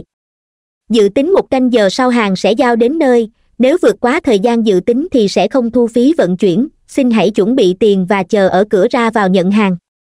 Nói xong, giang thái huyền lấy một viên thần ma đan và một phần đạo cảnh trúc cơ ra rồi chuẩn bị hai loại bao bì đóng gói, một cái hộp màu vàng tím, hộp này là do hệ thống chế tạo ra, chỉ có người nhận mới có thể mở được. Khắc tên phương tiến lên trên rồi đưa đến đám tiên thiên, đây là địa chỉ phí chuyển phát nhanh phí là một nguyên tệ, trong vòng một canh giờ phải giao hàng đến, nếu là quá thời gian thì các ngươi sẽ không kiếm được tiền, nhớ phải mang hộp về. Tràng chủ yên tâm, nơi này không xa, chúng ta cam đoan trong vòng một canh giờ sẽ đưa đến nơi. Triệu minh đưa tay ra nhận lấy chiếc hộp, dùng vải bọc lại rồi định đi đến vân thủy thành. Bằng tốc độ của tiên thiên thì từ nơi này đến vân thủy thành căn bản không cần đến một canh giờ nhưng là nhiệm vụ đầu tiên nên muốn khiến cho triệu minh thoải mái hơn một chút để tránh lần đầu làm liền hỏng. Thật là nghèo, ngay cả không gian cũng không có. Giang thái huyền lắc đầu cảm thán. Giải quyết xong một đơn đặt hàng, giang thái huyền liền ngồi yên chờ tin tức. Chắc chắn rằng giờ phút này vân thủy thành đã bùng nổ. Trải xong tờ rơi chắc chắn sẽ có không ít người đến, đương nhiên cũng có một số sẽ đặt hàng qua thiên võng. Hắn mở thiên võng ra chờ tin tức. Nhưng đáng tiếc chờ hơn một canh giờ cũng không có một bài viết nào thảo luận về thần ma đạo tràng xuất hiện. Nhưng có một tin nhắn, công tử vô song đã nhận được hàng, rất hài lòng về hiệu quả nhưng lại nói thêm một câu, thần ma đạo tràng thật keo con mẹ nó kiệt. Cái hộp đóng gói xinh đẹp vậy mà cũng lấy về, không tặng kèm. Người ta mua đan dược thì được cho bình ngọc, còn thần ma đạo tràng này nói bán đan dược thì thuần túy là bán đan dược, chỉ đưa đan dược còn bình ngọc thì lấy lại triệu minh giao hàng trở về thì đem tiền của thương phẩm giao lại cho giang thái huyền, vẻ mặt vui mừng mà nói, một canh giờ đã kiếm được một nguyên tệ, quá lời. Một đám người cũng mừng rỡ theo, bọn họ là chia theo phần, mỗi người được chia bao nhiêu là căn cứ vào việc xuất lực bao nhiêu để định ra. Một nguyên tệ đã vui như vậy à? Giang thái huyền biểu môi, các ngươi phát tờ rơi kiểu gì mà đến bây giờ ngay cả người ghé xem cũng không có, xem ra nhất định phải dán đầy quảng cáo. Tràng chủ ở đây đầy rẫy đạo quả và trúc cơ, dựa vào chút thực lực này của bọn ta mà đi phát tờ rơi e là sẽ bị đánh chết. Triệu minh vẻ mặt đau khổ nói. Đúng rồi, các thế lực ngoại thành vân thủy thành vẫn chưa biết thông tin gì đâu, chỉ phát tin tức ở vân thủy thành thì quá chậm, chúng ta cần khiến cho cả vân thủy thành, cả cái tông môn đều phải biết thần ma đạo tràng đã đến. Giang thái huyền nghiêm mặt nói. Tràng chủ định làm gì? Mấy vị tiên thiên nhíu mày các ngươi cầm tờ rơi ra bên ngoài vân thủy thành phát cho những tông môn và các gia tộc ngoại thành đi. Giang thái huyền nói. Mọi người trầm mặc đến tông môn phát tờ rơi. Tràng chủ, ngươi muốn ta bị ăn đập à? Các ngươi đừng lo, không phải còn có thiên võng ở đây sao? Ta sẽ chú ý từng thời khắc, nếu ngươi xảy ra chuyện ở đâu thì thiên võng lập tức báo tin, lý nguyên bá sẽ đến cứu ngươi. Giang thái huyền ra sức thuyết phục. Hơn nữa các ngươi chỉ muốn giao hàng nội trong vân thủy thành thôi sao?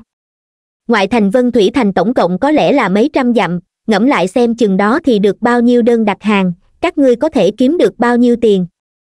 Bọn triệu minh nhìn lý nguyên bá một chút, trầm tư một lát rồi vỗ tay nói, được. Ây như vậy là tốt rồi, cầm số tờ rơi này lên đường đi, coi như làm quen lộ trình trước. Vẻ mặt của giang thái huyền nghiêm túc nói, nếu không đi thì sau này đi giao hàng không tìm ra đường đây không phải là cực khổ vô ích rồi sao? Tràng chủ, ngươi đừng nói nữa. Ta đi phát tờ rơi phiền lý nguyên bá tiền bối nhớ theo dõi thiên võng. Triệu minh ném lại câu rồi vội vàng rời đi. Không lâu sau các võ giả đến vân thủy thành phát tờ rơi đã quay về, ai ai cũng trưng ra vẻ mặt đầy phiền muộn và ủ rũ. Sao thế? Phát tờ rơi không có hiệu quả à? Giang thái huyền nhíu mày. Không phải người ta cơ bản nhìn cũng không thèm nhìn đã ném luôn, đa số đều không quan tâm. Nhóm tiên thiên bất đắc dĩ nói. Để ta suy nghĩ chút. Giang thái huyền lâm vào trầm tư, tạm thời không thể dán quảng cáo ở vân thủy thành, quá nhiều cường giả, nếu để đám tiên thiên này đi dán, nhỡ chọc giận một vài người thì e rằng sẽ bị trực tiếp giết chết. Hắn còn trông cậy vào những người này hắn làm việc cho hắn, chịu khó làm như vậy cũng không phải là dễ tìm. Có rồi giang thái huyền vỗ tay một cái, nói, các ngươi có biết đa số võ giả của vân thủy thành tụ tập ở đâu không? Mặc dù sẽ gặp nguy hiểm nhưng các võ giả vẫn đến ấy. Võ trường, hội đấu giá, cửa hàng đang dược với yêu thú sơn mạch. Một vị tiên thiên nghĩ một chút rồi nói. Võ trường là nơi mà các võ giả tỷ thí, triển lộ thực lực của bản thân, ở đó có không ít các tông môn và các gia tộc có thế lực, một khi phát hiện ra thiên tài thì sẽ lôi kéo hội đấu giá và cửa hàng đan dược cũng không cần giải thích, yêu thú sơn mạch thì tràng chủ cũng biết, không giải thích. Giang thái huyền trầm tư, yêu thú sơn mạch có vô số nhánh mạch khác, so đại vân quốc còn lớn hơn, bên trong đại vân quốc có không ít mạch của yêu thú sơn mạch, thanh nguyệt thành, vân thủy thành và một số thành trì khác cũng có. Yêu thú sơn mạch thì tạm thời không đi, nằm vùng ở võ trường đi, tìm những loại người thảm hại vô dụng nhưng lại rất giàu ấy, loại này rất dễ lừa. A, tiêu tiền giang thái huyền nói. Đinh, thần ma đạo tổ, bạn có một đơn đặt hàng mới, có muốn nhận không? Trong đầu bỗng vang lên một thông báo. Hắn vội vàng mở thiên võng ra, là một người có tên là mặt như ngọc, đặt mua thần ma đan và linh khí tiên thiên. Quả quyết cự tuyệt, giang thái huyền dò hỏi, tổng cộng mười lăm nghìn nguyên tệ, xin hãy ghi rõ địa điểm, tên, ngày tháng năm sinh, hàng đến trả tiền. Sao không nhận đơn? Không phải là thanh toán qua thiên võng sao? Mặt như ngọc đáp. Không nhận giao dịch qua thiên võng, hàng đến đưa tiền, do công ty chuyển phát nhanh phong trì vận chuyển, chuyện này ta đã viết rất rõ ràng. Giang thái huyền trả lời. Vậy ta không mua. Mặt như ngọc nói. Giang thái huyền ngẩn người, hắn đóng thiên võng lại, sắc mặt khó coi nói, không phải chỉ là không ký khế ước trên thiên võng thôi sao? Ký khế ước trên thiên võng là có được sự bảo vệ không có khế ước của thiên võng thì chính là không được bảo đảm, có khả năng sẽ mua trúng hàng giả, muốn khóc cũng không biết khóc với ai. Các ngươi nhanh đến nằm vùng ở võ trường đi. Giang thái huyền khoát tay, tâm tình có chút khó chịu. Mấy người gật đầu, đi đến vân thủy thành một lần nữa. Vân thủy thành phương phủ. Một vị công tử văn nhã, tay cầm quạt xếp, phong thái tự nhiên. Thanh huyền tông, vân dương tông, năm đại tông môn xem xem ai trong số các ngươi có vận khí tốt thu nhận được bổn công tử trước tiên.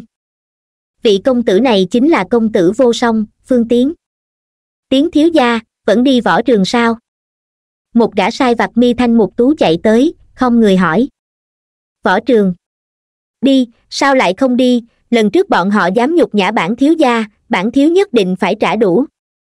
Phương tiến hừ lạnh một tiếng, nói, ta sẽ đi, ngươi đi mời cầm hy cô nương cho ta bản thiếu gia muốn triển lộ bản lĩnh thật sự. Vâng. Cả sai vặt cung kính đáp lại nhưng trong lòng lại chửi thề, bản lĩnh thật sự. Ngay cả cuộc thi tuyển của tông môn cũng không qua nổi thì có bản lĩnh thật sự gì cơ chứ? Phương tiến bước nhanh ra khỏi phương phủ, đầu khẽ ngẩng cao, vẻ mặt cao ngạo. Võ trường cách phương phủ không xa, phương tiến rất nhanh đã tới nơi. Ôi chao, đây không phải phương tiến nhà giàu mới nổi sao? Nghe nói ngươi muốn vào tông môn sao vẫn không được tông môn thu nhận vậy? Vừa tới cổng của võ trường thì có một võ giả trẻ tuổi, lưng đeo tam xích kiếm, khinh miệt mà nhìn về phía phương tiến. Lão tử có tiền, lão tử cao hứng.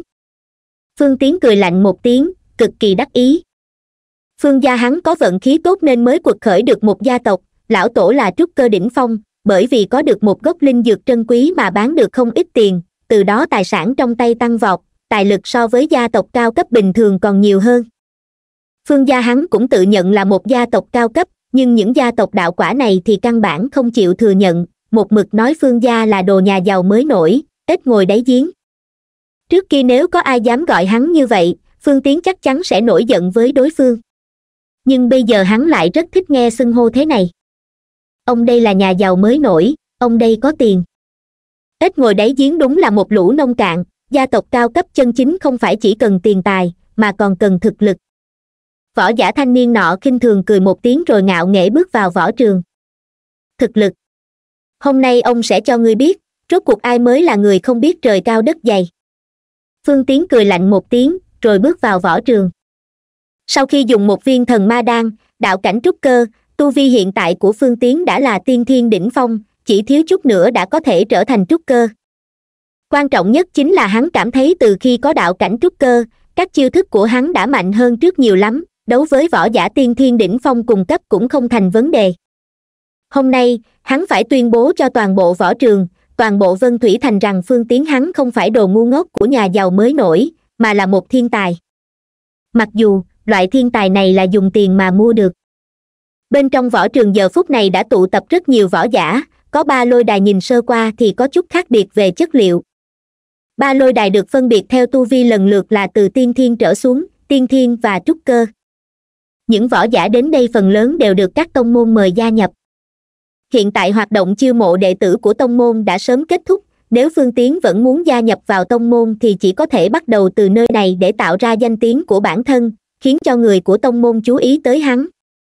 Phương tiến lật tay lấy kiếm, trực tiếp vọt lên lôi đài, cao ngạo nói, ta muốn liên tiếp khiêu chiến mười trận liên tục khiêu chiến mười trận có nghĩa là liên tục chiến đấu với mười vị tiên thiên, không có thời gian nghỉ ngơi giữa các hiệp, hành động vĩ đại này mấy tháng trước đã từng có người hoàn thành được.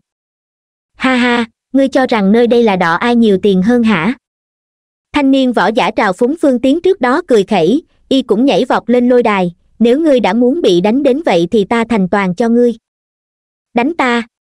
Lâm hiên, ta nói cho ngươi biết, ta không còn là phương tiến của ngày hôm qua nữa đâu phương tiến ngạo nghễ nói, cút kiếm ra khỏi vỏ, ta sẽ cho ngươi bại trong vòng mười chiêu. Ánh sáng rực rỡ, kiếm khí sắc bén, kiếm quang lóe rọi, bóng kiếm nghiêng trời, kiếm chiếu sơn hà. Hửng! Lâm hiên vốn không để phương tiến vào mắt bỗng đanh mặt lại, chiêu kiếm pháp này khiến cho hắn có cảm giác không thể nào phá giải, phương tiến sao lại đột nhiên lại tiến bộ vượt bậc như thế? Chẳng lẽ trước đây là hắn che giấu sao? Không dám do dự thêm, trường kiếm của lâm huyền xoay chuyển kiếm khí của hắn bắn ra vạn trượng bảo vệ bản thân, chống lại kiếm ảnh đầy trời. Ken ken ken. Kiếm khí, kiếm ảnh, lưỡi kiếm liên tục va chạm, kiếm khí sắc bén không ngừng tiêu tán, phương tiến thấy vậy càng thêm tự tin, một chiêu lại một chiêu liên tiếp xông lên, dùng kiếm pháp truyền thừa của phương gia bộc lộ ra tài năng thật sự.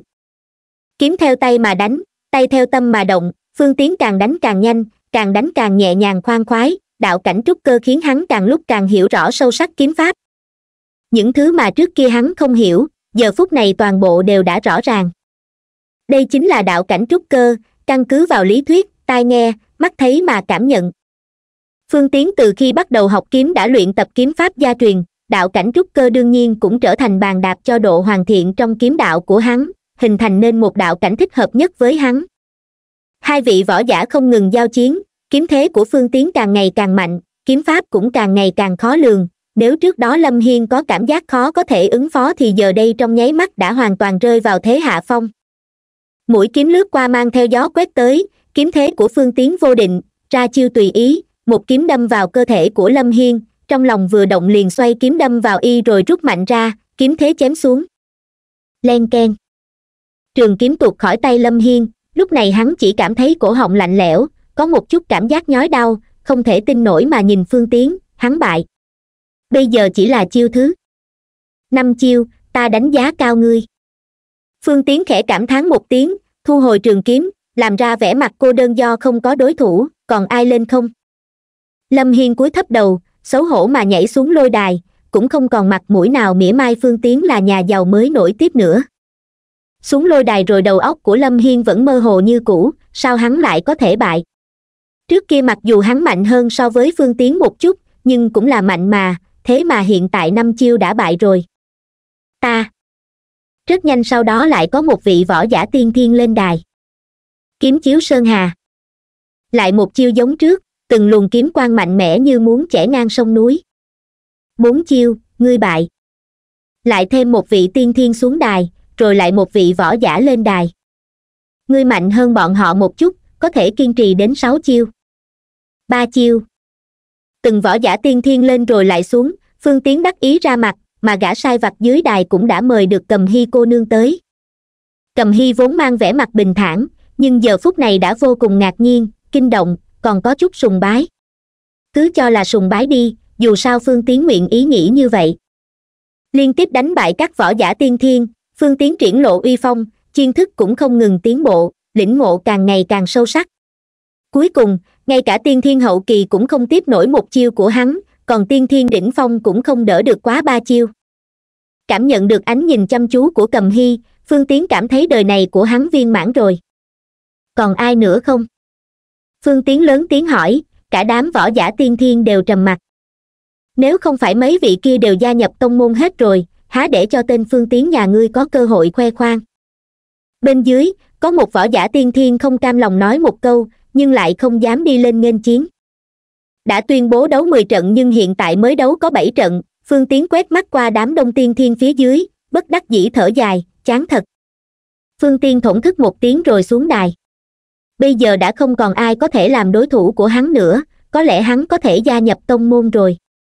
Thôi đi, nhà giàu mới nổi chung quy vẫn chỉ là nhà giàu mới nổi mà thôi, đánh bại chúng ta thì xá gì, có bản lĩnh thì đi đánh với mấy vị tông môn kia kìa một vài võ giả tiên thiên nhịn không được mỉa mai mà một câu. Gia tộc cao cấp là do đạo quả trấn giữ, dù hắn mạnh hơn nữa thì vẫn chỉ là tiên thiên. Lâm hiên cũng lạnh lùng nói. Ha ha, một đám bại tướng dưới tay ta mà còn dám khô môi múa mép. Phương tiến cười cợt, chợt hắn nhìn về phía cầm hy cầm hy cô nương, chẳng hay phương mổ có được vinh hạnh cùng ngươi dùng một bữa cơm trưa không? Cầm hy ngẩn người, ngơ ngác nhìn phương tiến, theo bản năng gật gật đầu cầm hy tiểu thư, mời. Phương tiến vui mừng, vội vàng dẫn cầm hy rời đi. Về phần gã sai vặt, hắn quả quyết vừa trừng mắt ra dấu y xéo đi. Lần đầu tiên cảm thấy, có tiền thật con mẹ nó tốt. Nội tâm của phương tiến mừng như điên. Trước kia bị người khác nói là nhà giàu mới nổi, bị những gia tộc cao cấp kia xem thường, hiện tại thì sao? Hiện tại, không chỉ có được thực lực mà còn thắng được tâm của mỹ nhân mà những thứ này đều là dùng tiền mà mua được. Đột nhiên phương tiến muốn hỏi tất cả các võ giả tiên thiên một câu, còn có thứ gì tốt hơn tiền sao? Nhưng hắn không hỏi mà lại nghĩ đến một chuyện khác. Tông môn. Con mẹ nó ta không thèm đi, không phải là đạo quả sao? Phương gia lão tổ cũng có thể đột phá đạo quả. Phương tiến nghĩ đến thần ma đạo tràng. Gia tộc cao cấp đều có lão tổ đạo quả trấn giữ, phương gia của hắn lại không có, nhưng nhà hắn có tiền hoàn toàn có khả năng mua cho lão tổ một đạo cảnh đạo quả, sau khi đột phá thì còn ai dám nói phương gia không phải gia tộc cao cấp nữa. Hắn một lòng muốn gia nhập vào tông môn không phải là bởi vì gia tộc không ổn mà bởi vì không có cường giả trấn giữ nên muốn ôm đùi tông môn, tránh để bị các gia tộc cao cấp trong nội thành nuốt sạch. Hiện tại, chỉ cần có tiền, tông môn gì gì đó còn quan trọng sao? Nhưng hiện tại chuyên tâm dùng bữa với cầm hy cô nương trước đã, lão tổ chờ thêm chút nữa rồi tính vừa bước ra võ trường, phương tiến nhướng mày, quét mắt nhìn mấy võ giả đang ngồi xổm ở cửa ra vào, những người này đều là tiên thiên, trong tay cầm mấy tờ giấy không ngừng quan sát xung quanh võ trường. Nếu là người bình thường thì phương tiến không thèm để ý, nhưng hắn từ trên những tờ giấy đó thấy được bốn chữ, thần ma đạo tràng. Cầm hy cô nương, thật ngại quá, tại hạ có việc đột xuất, hẹn ngươi hôm khác. Phương tiến ông quyền chào một câu rồi vội vã đi mất. Phương cầm hy há to miệng, vừa lên tiếng thì phương tiến đã chạy mất hút. Tiếp theo lại có rất nhiều võ giả tiên thiên đi ra, đám võ giả cầm tờ giấy trên tay nọ vội vàng đứng lên đem giấy đưa cho bọn hắn. Hôm nay có chuyện gì xảy ra vậy? Sao mấy vị tiên thiên đang đi ra này đều ôm đầu ảo não như thể chết cha tan mẹ vậy? Nghe nói, bọn họ bị một tên nhà giàu mới nổi đánh. Nhà giàu mới nổi? Không phải là cái nhà mà chúng ta đưa hàng chứ?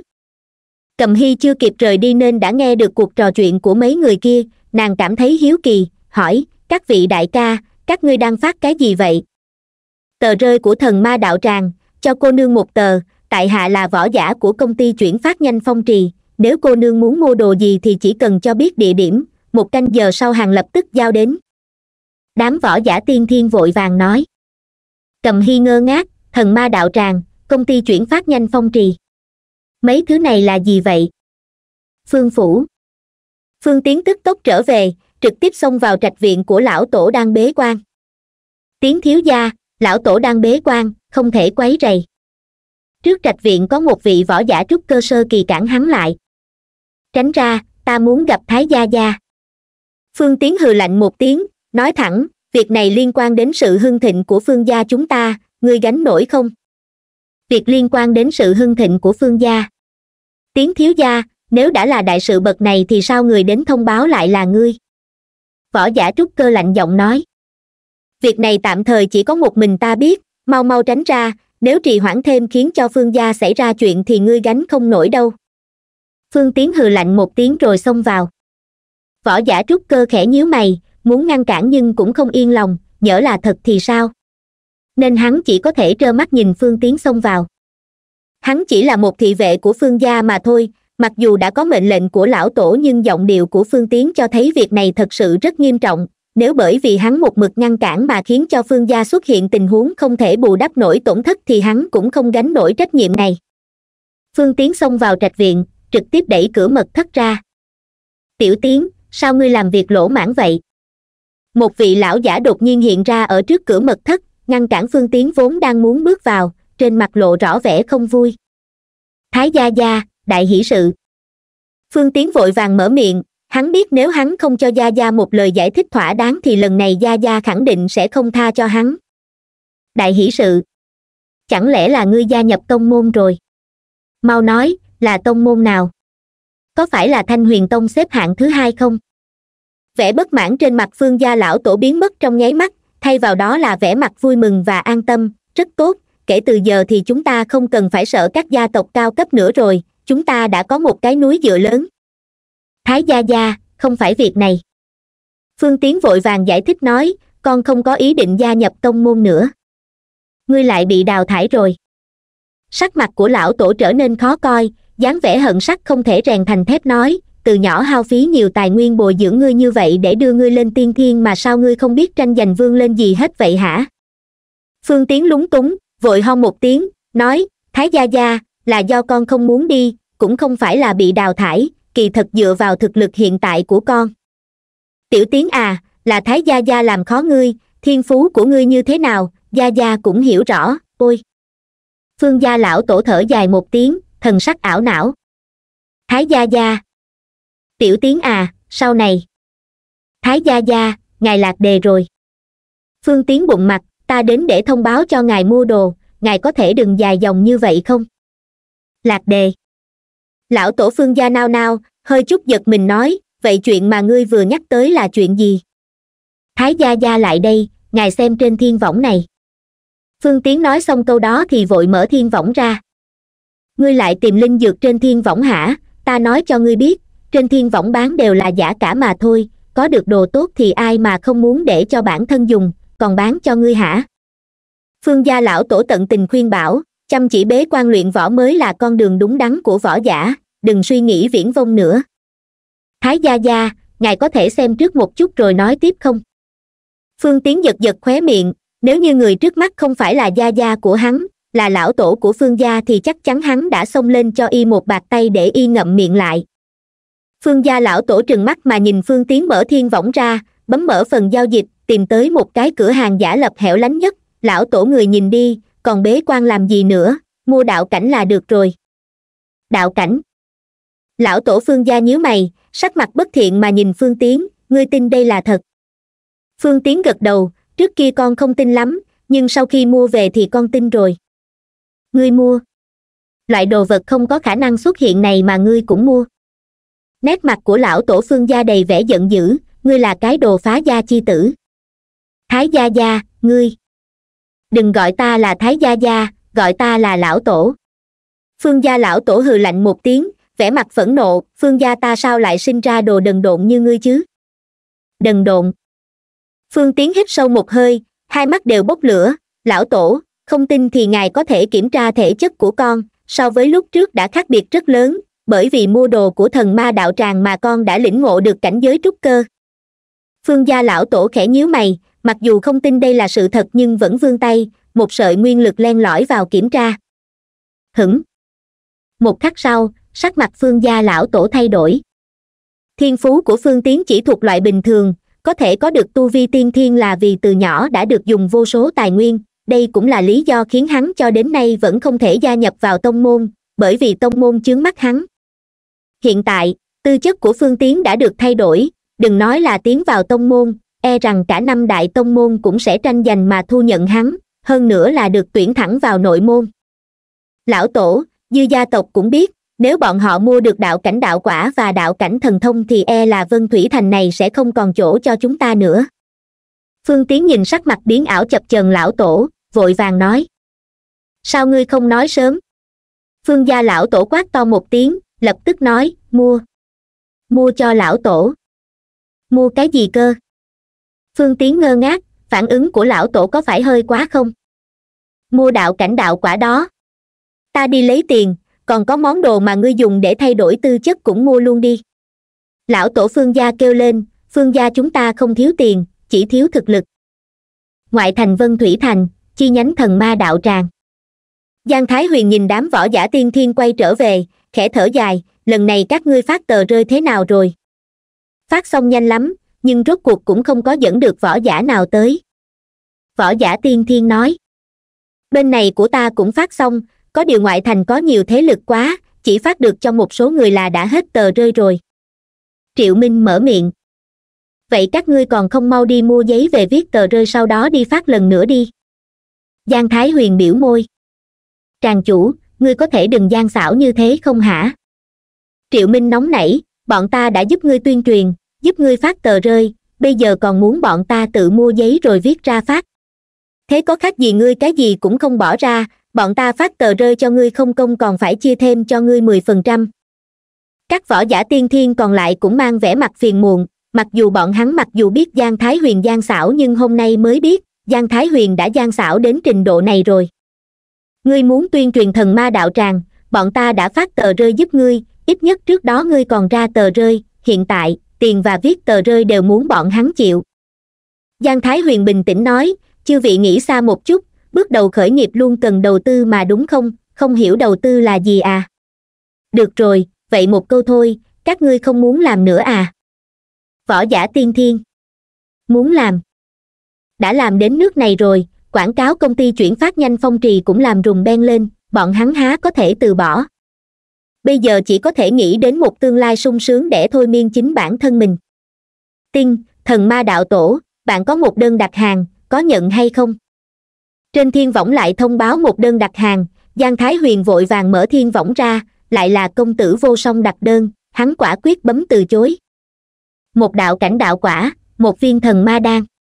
Bởi vì thương phẩm quý giá nên phí chuyển phát nhanh là hai nguyên tệ, một canh giờ sau hàng sẽ được giao đến giang thái huyền trả lời một câu rồi nhìn về phía bọn triệu minh, lần này thu hai nguyên tệ, ở chỗ cũ, ai đi?